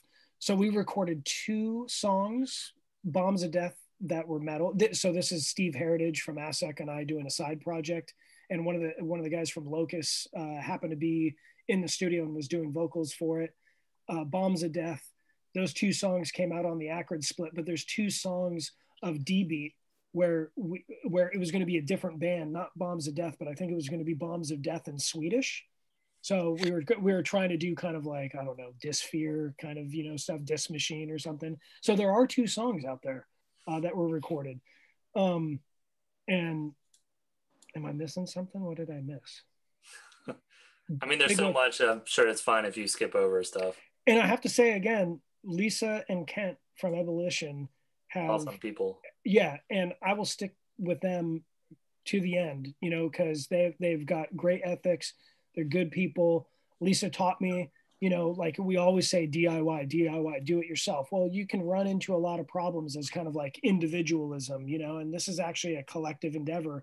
And Lisa always taught me, no, it's do it together, do it together, you know, and I'll always remember that DIT, DIT, yep. you know, and, uh, you know, Ebullition and Lisa and Kent have supported me, you know, and really helped me out and stuff like that. And, you know, I got nothing but love for ebullition until the day I die. And so, uh, so yeah and they've taught me valuable ethics and to stay true to my ethics in politics you know yep. so you know they, they helped to live a lie at the very beginning too uh, i wrote some distributors and was like hey like i've got this Magrudergrind godstomper split and they're like i don't know what that is i'm not going to deal with you and felt very like shut down instantly and ebullition was like uh, I mean, clearly, God Godstomper being West Coast, that was easy. But then Rhino Charge was in the last heart attack, and they they probably sold a full thousand copies of that. Um, yeah. The band broke up, and I was still selling copies without a problem, thanks to them. Uh, yeah. They've continued to be a helpful source of uh, distribution for me, and really nice people. Yeah, I think you know when it comes down to stuff, uh, particularly distros or record labels, you know, a record label can focus on a kind of music, and that's that's their principles or whatever. And you know, distros like you know doing a good distribution, I guess, is also their principles. But I I want something more than that, you know. And Ebullition from day one um, has been more than that because they got you know a certain set of ethics and politics, and you know I agree with those, and and you know uh, the the commentaries and heart attack zine that they did and the kinds of bands that they put out might be very different from 625 but it's those are my ethics you know and i want to work with people who still you know kind of will put those ethics above you know business practices or whatever and stuff. And so you know uh, i really appreciate ebullition and again we'll work with them till till the day i die so and I, I personally have one last question. Uh, I know we didn't bring up, uh, I guess I could bring up a couple questions, um, but uh, we didn't bring up your time in capitalist casualties, and uh, there was no mention of Masha Vass, yeah. Uh, which I don't personally know a ton about, but I mean, clearly you did it for a long time, but I think that really predated me getting into this kind of music, and I know it was generally important. Yeah, so two uh, capitalist casualties. They asked me once, you know, Matt and them parted ways. I was really nervous at the beginning because Matt is on another level, and I was like, I can't, I can't do that, you know. And and if if you allow me to join your band, I'm going to bring you down a couple notches, you know, and I probably actually did, you know, but I think we talked about it and Jeff was like, well, you know, our style is going to change a little bit. We might, you know, go like a little more kind of old school punk rather than just like full on double bass and blast beats, you know, which Matt could do really well. And I, I could, I couldn't. So, um, but man, Geraldo, you know, the third drummer, he fit yep. Capitalist perfectly. Uh, you know, so hearing me play in the middle of Geraldo and Matt, you know, like I, I, I'm not the fit for Capitalist Casualties, even though I really had a great time playing with them and was really honored that they asked me to. But like hearing Geraldo play with them and hearing, you know, what Matt you know Matt's original drumming. I mean, it was just like, oh shit, the two great friggin' drummers. Uh, did you only play live, or did you play on a recording? Yeah, yeah, no, I played. I played on like subdivisions in Ruin oh, LP. Yeah. Oh, cool. Yeah, I played. That's, that's the first uh, one I ever heard. Yeah, I played on the the the five inch. Community. Oh, yeah, dark yeah, circles. And, yeah, and played on a drug. Uh, what is it? Drug War? No, drug. drug uh, the EP that came out on Slap-a-Ham. I can't remember. It's a little more punky than the earlier stuff. Uh, and that was the first time that I recorded with them. It was like maybe 95, I think, 96. Hmm. Um, as far as Masha Vass, of course, for those of you who know, I'm getting that from a Rose Rose LP from from Japan. Oh, yeah because I never understood what what that meant. But there was Mosh in the name, and I was like, "Fuck it, Mosh," you know, that's cool, Masha Vass. But um, uh, you know, by the late 90s, I was getting so many tapes, both from 625, but also Spazz. Uh, on tour, people would give me stuff. People would send me CDRs of their new bands. And I felt bad if I couldn't try and do something with getting, you know, this stuff because, you know, some people were like maybe asking about like 625 releasing them or something. And so I said, well, one thing I'll do is I'll just um, make a little free one sheet demo review thing with all with all the contact addresses so this isn't going to waste you know and i'll review everything that i get and so i did you know some of it would be like screamo. Some of it would be like noodly tech grind metal. Some of it would be hardcore. Some of it would be thrash. Some of it whatever. So i just reviewed because i i just felt bad. Like i was getting all this stuff and i was into it but there's no way for me to support these bands. And so i was like oh well i'll start mosh of ass to do that. And yeah it kind of got bigger and bigger. And luckily you know by the time it stopped a couple years later maximum rock and roll started their tape review section again which like robert was doing and stuff so that was yep. that was good there was still a way for like demos to get you know reviewed and stuff so so yeah. uh, a, random robert question for you uh, yeah. i'm friends with him on instagram and he does these elaborate like toast food like I, I don't entirely know what it is. I've never seen anyone do it before, but he like he puts his meal like I don't know if he eats it that way, but was he doing that when you were in bands with him? Is that something you know about?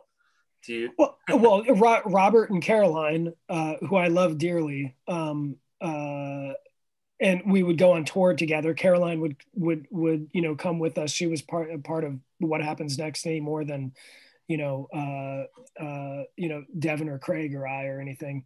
And um, yeah, they would just they make really elaborate like vegan meals, and they would often do that for um, people like around the holidays that were away from their families, you know, or didn't have families, and so you know, um, they would invite me over and make really elaborate you know food for either thanksgiving or something like that. And so it doesn't doesn't surprise me that robert's making some crazy daily toast concoction, you know, because they experiment with all different kinds of like vegan, you know, ingredients and stuff. They're not, you know, foodies. I wouldn't call them foodies. They're just, you know, really into good food and vegan food and, and experiment with it. So yeah, just it looked like deconstructed sandwiches, but then there was like all kinds of symmetry and like the tofu's all cut perfectly. And I, I didn't know if they like you eat pieces or if you then after you lay it out nicely you put it onto a sandwich. I, I just i was a little confused with that but no, knowing robert cool. he's he's eating the full sandwich. I think he's just showing you like the the ingredients you know the step by step.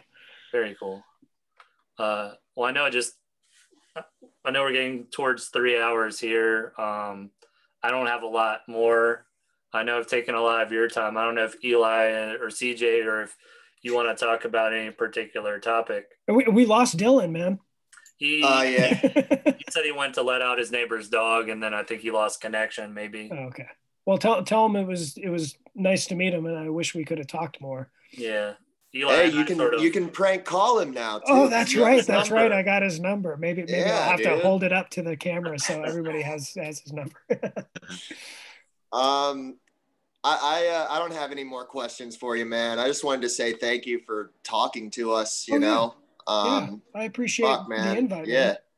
I, I got into spazz when I was like 14, 15 years old. So, you know, this is a very cool thing to be talking to you, man. I appreciate yeah, it. Yeah, no, I appreciate it too. I mean, I'm just, I'm grateful that people even care, you know, and still, you know, like want to talk about this stuff and, and also are educating me on what's going on you know since i've been kind of disconnected and like learning about new stuff and new bands much better bands than i think anything that i did you know back in the in the 90s and stuff but i know there's like you know th- that stuff's valued as well and i appreciate it. Oh yeah. Definitely yeah. valued yeah, yeah. sure. thank, thank, you eli.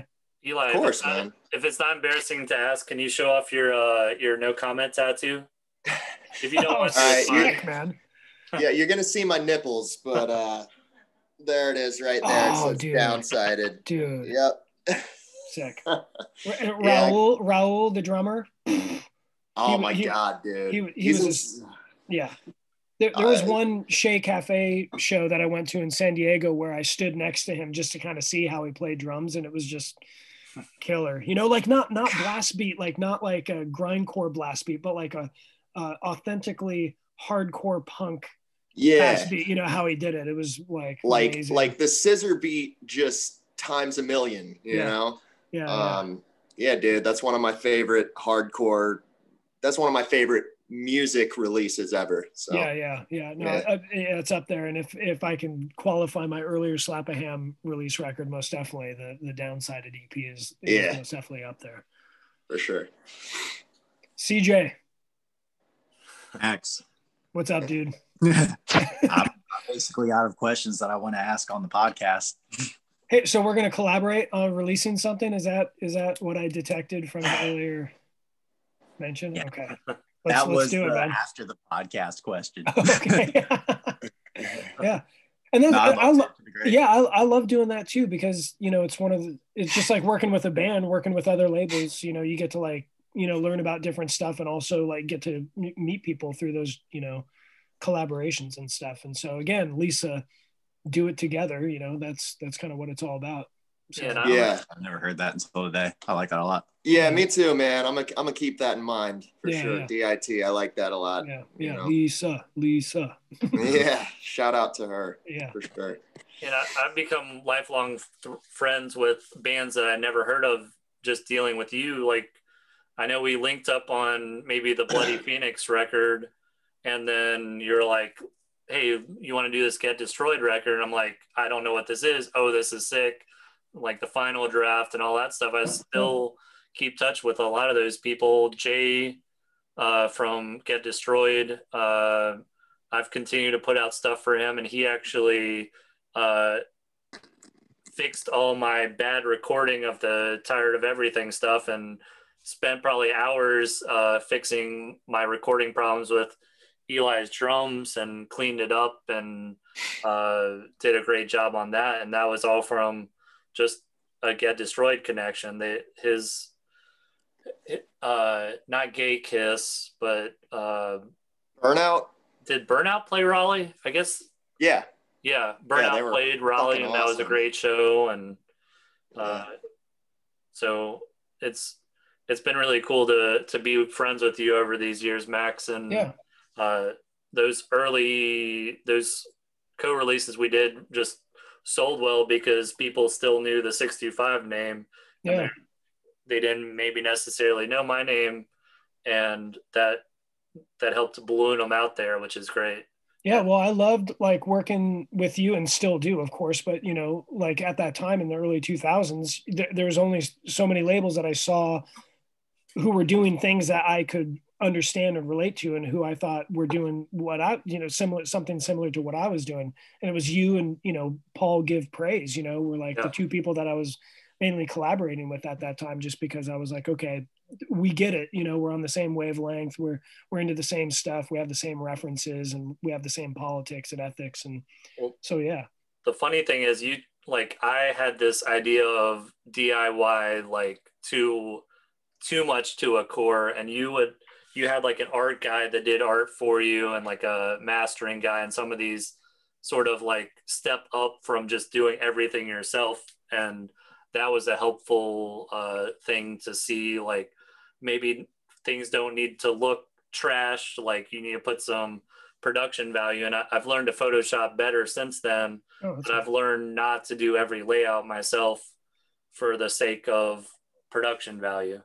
yeah. I just I just fucked up so much stuff, you know, that I finally was like, man, I gotta I gotta work with people who know what they're doing. And luckily, they were also punks and doing it. You know, they were doing it DIY as well. So you know, there's a network of you know DIY punk businesses, shirt printers, Econo Press, you know, the printer. Yeah. You know, you can work with all these people that are that are punks and have the same ethics, you know, but still they have the specialty, you know, they, they know how to make quality stickers that aren't going to run or come off a, you know, come off a wall once, once stuck or whatever. So, you know, work with them, you support their business, you know, and they'll, they'll support you down the road and, you know, Hell yeah. Do it Yeah. together. do it together. Yeah. That, that's a message for today, kids. Instead of uh instead of me DIYing and doing embarrassing layouts and then having to mail like I tried to take on too much stuff and uh, I think I still need to take that lesson and get a layout person that's not me. I, I've been utilizing this guy in Canada who does a good job. Uh, uh, shout out to Tommy Wilson. He he does Oh, really dude, Tommy cool- Wilson stuff is so good, man. Yeah. Yeah.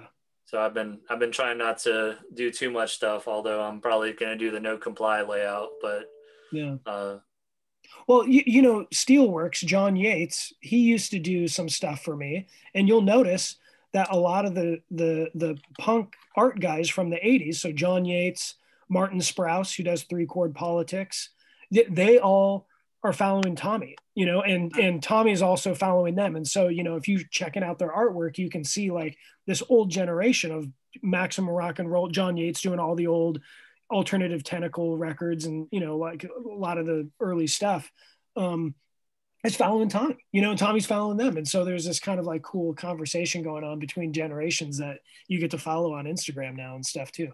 You know and they really respect what tommy's doing like where he's feeding everything through fax machines yeah. and stuff. I mean it's nuts man that process that that he does.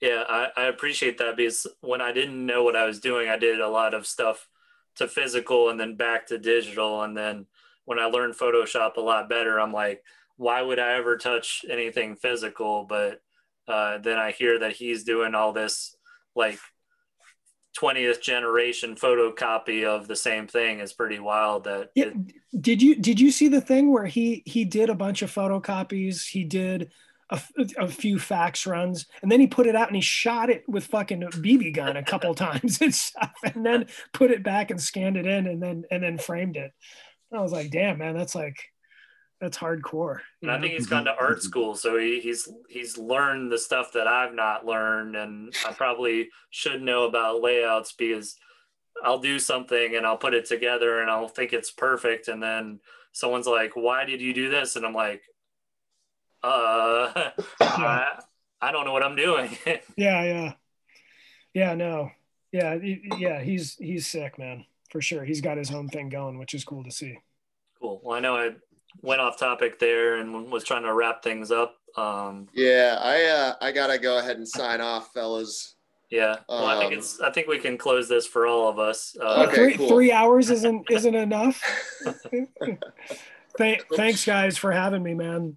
Yeah, yes, thank yeah, you for fucking joining in, man. Yeah, of course, of course. Uh, after this is done, you know, send me an email. Let, let me know what you guys are doing, like music wise and release wise or whatever. And you know, like, definitely. Uh, yeah, for I'm sure, always, dude. I'm, a, I'm always into like learning about new stuff and checking out what people are doing. So. Well, I'm gonna hit the stop button in a minute, and then we can continue to discuss on here if you all have time. But uh, I'll just officially close out uh, episode five. Thanks so much for uh, joining us, Max. Uh, yep. you're, you're, killing Thanks, it. rockers.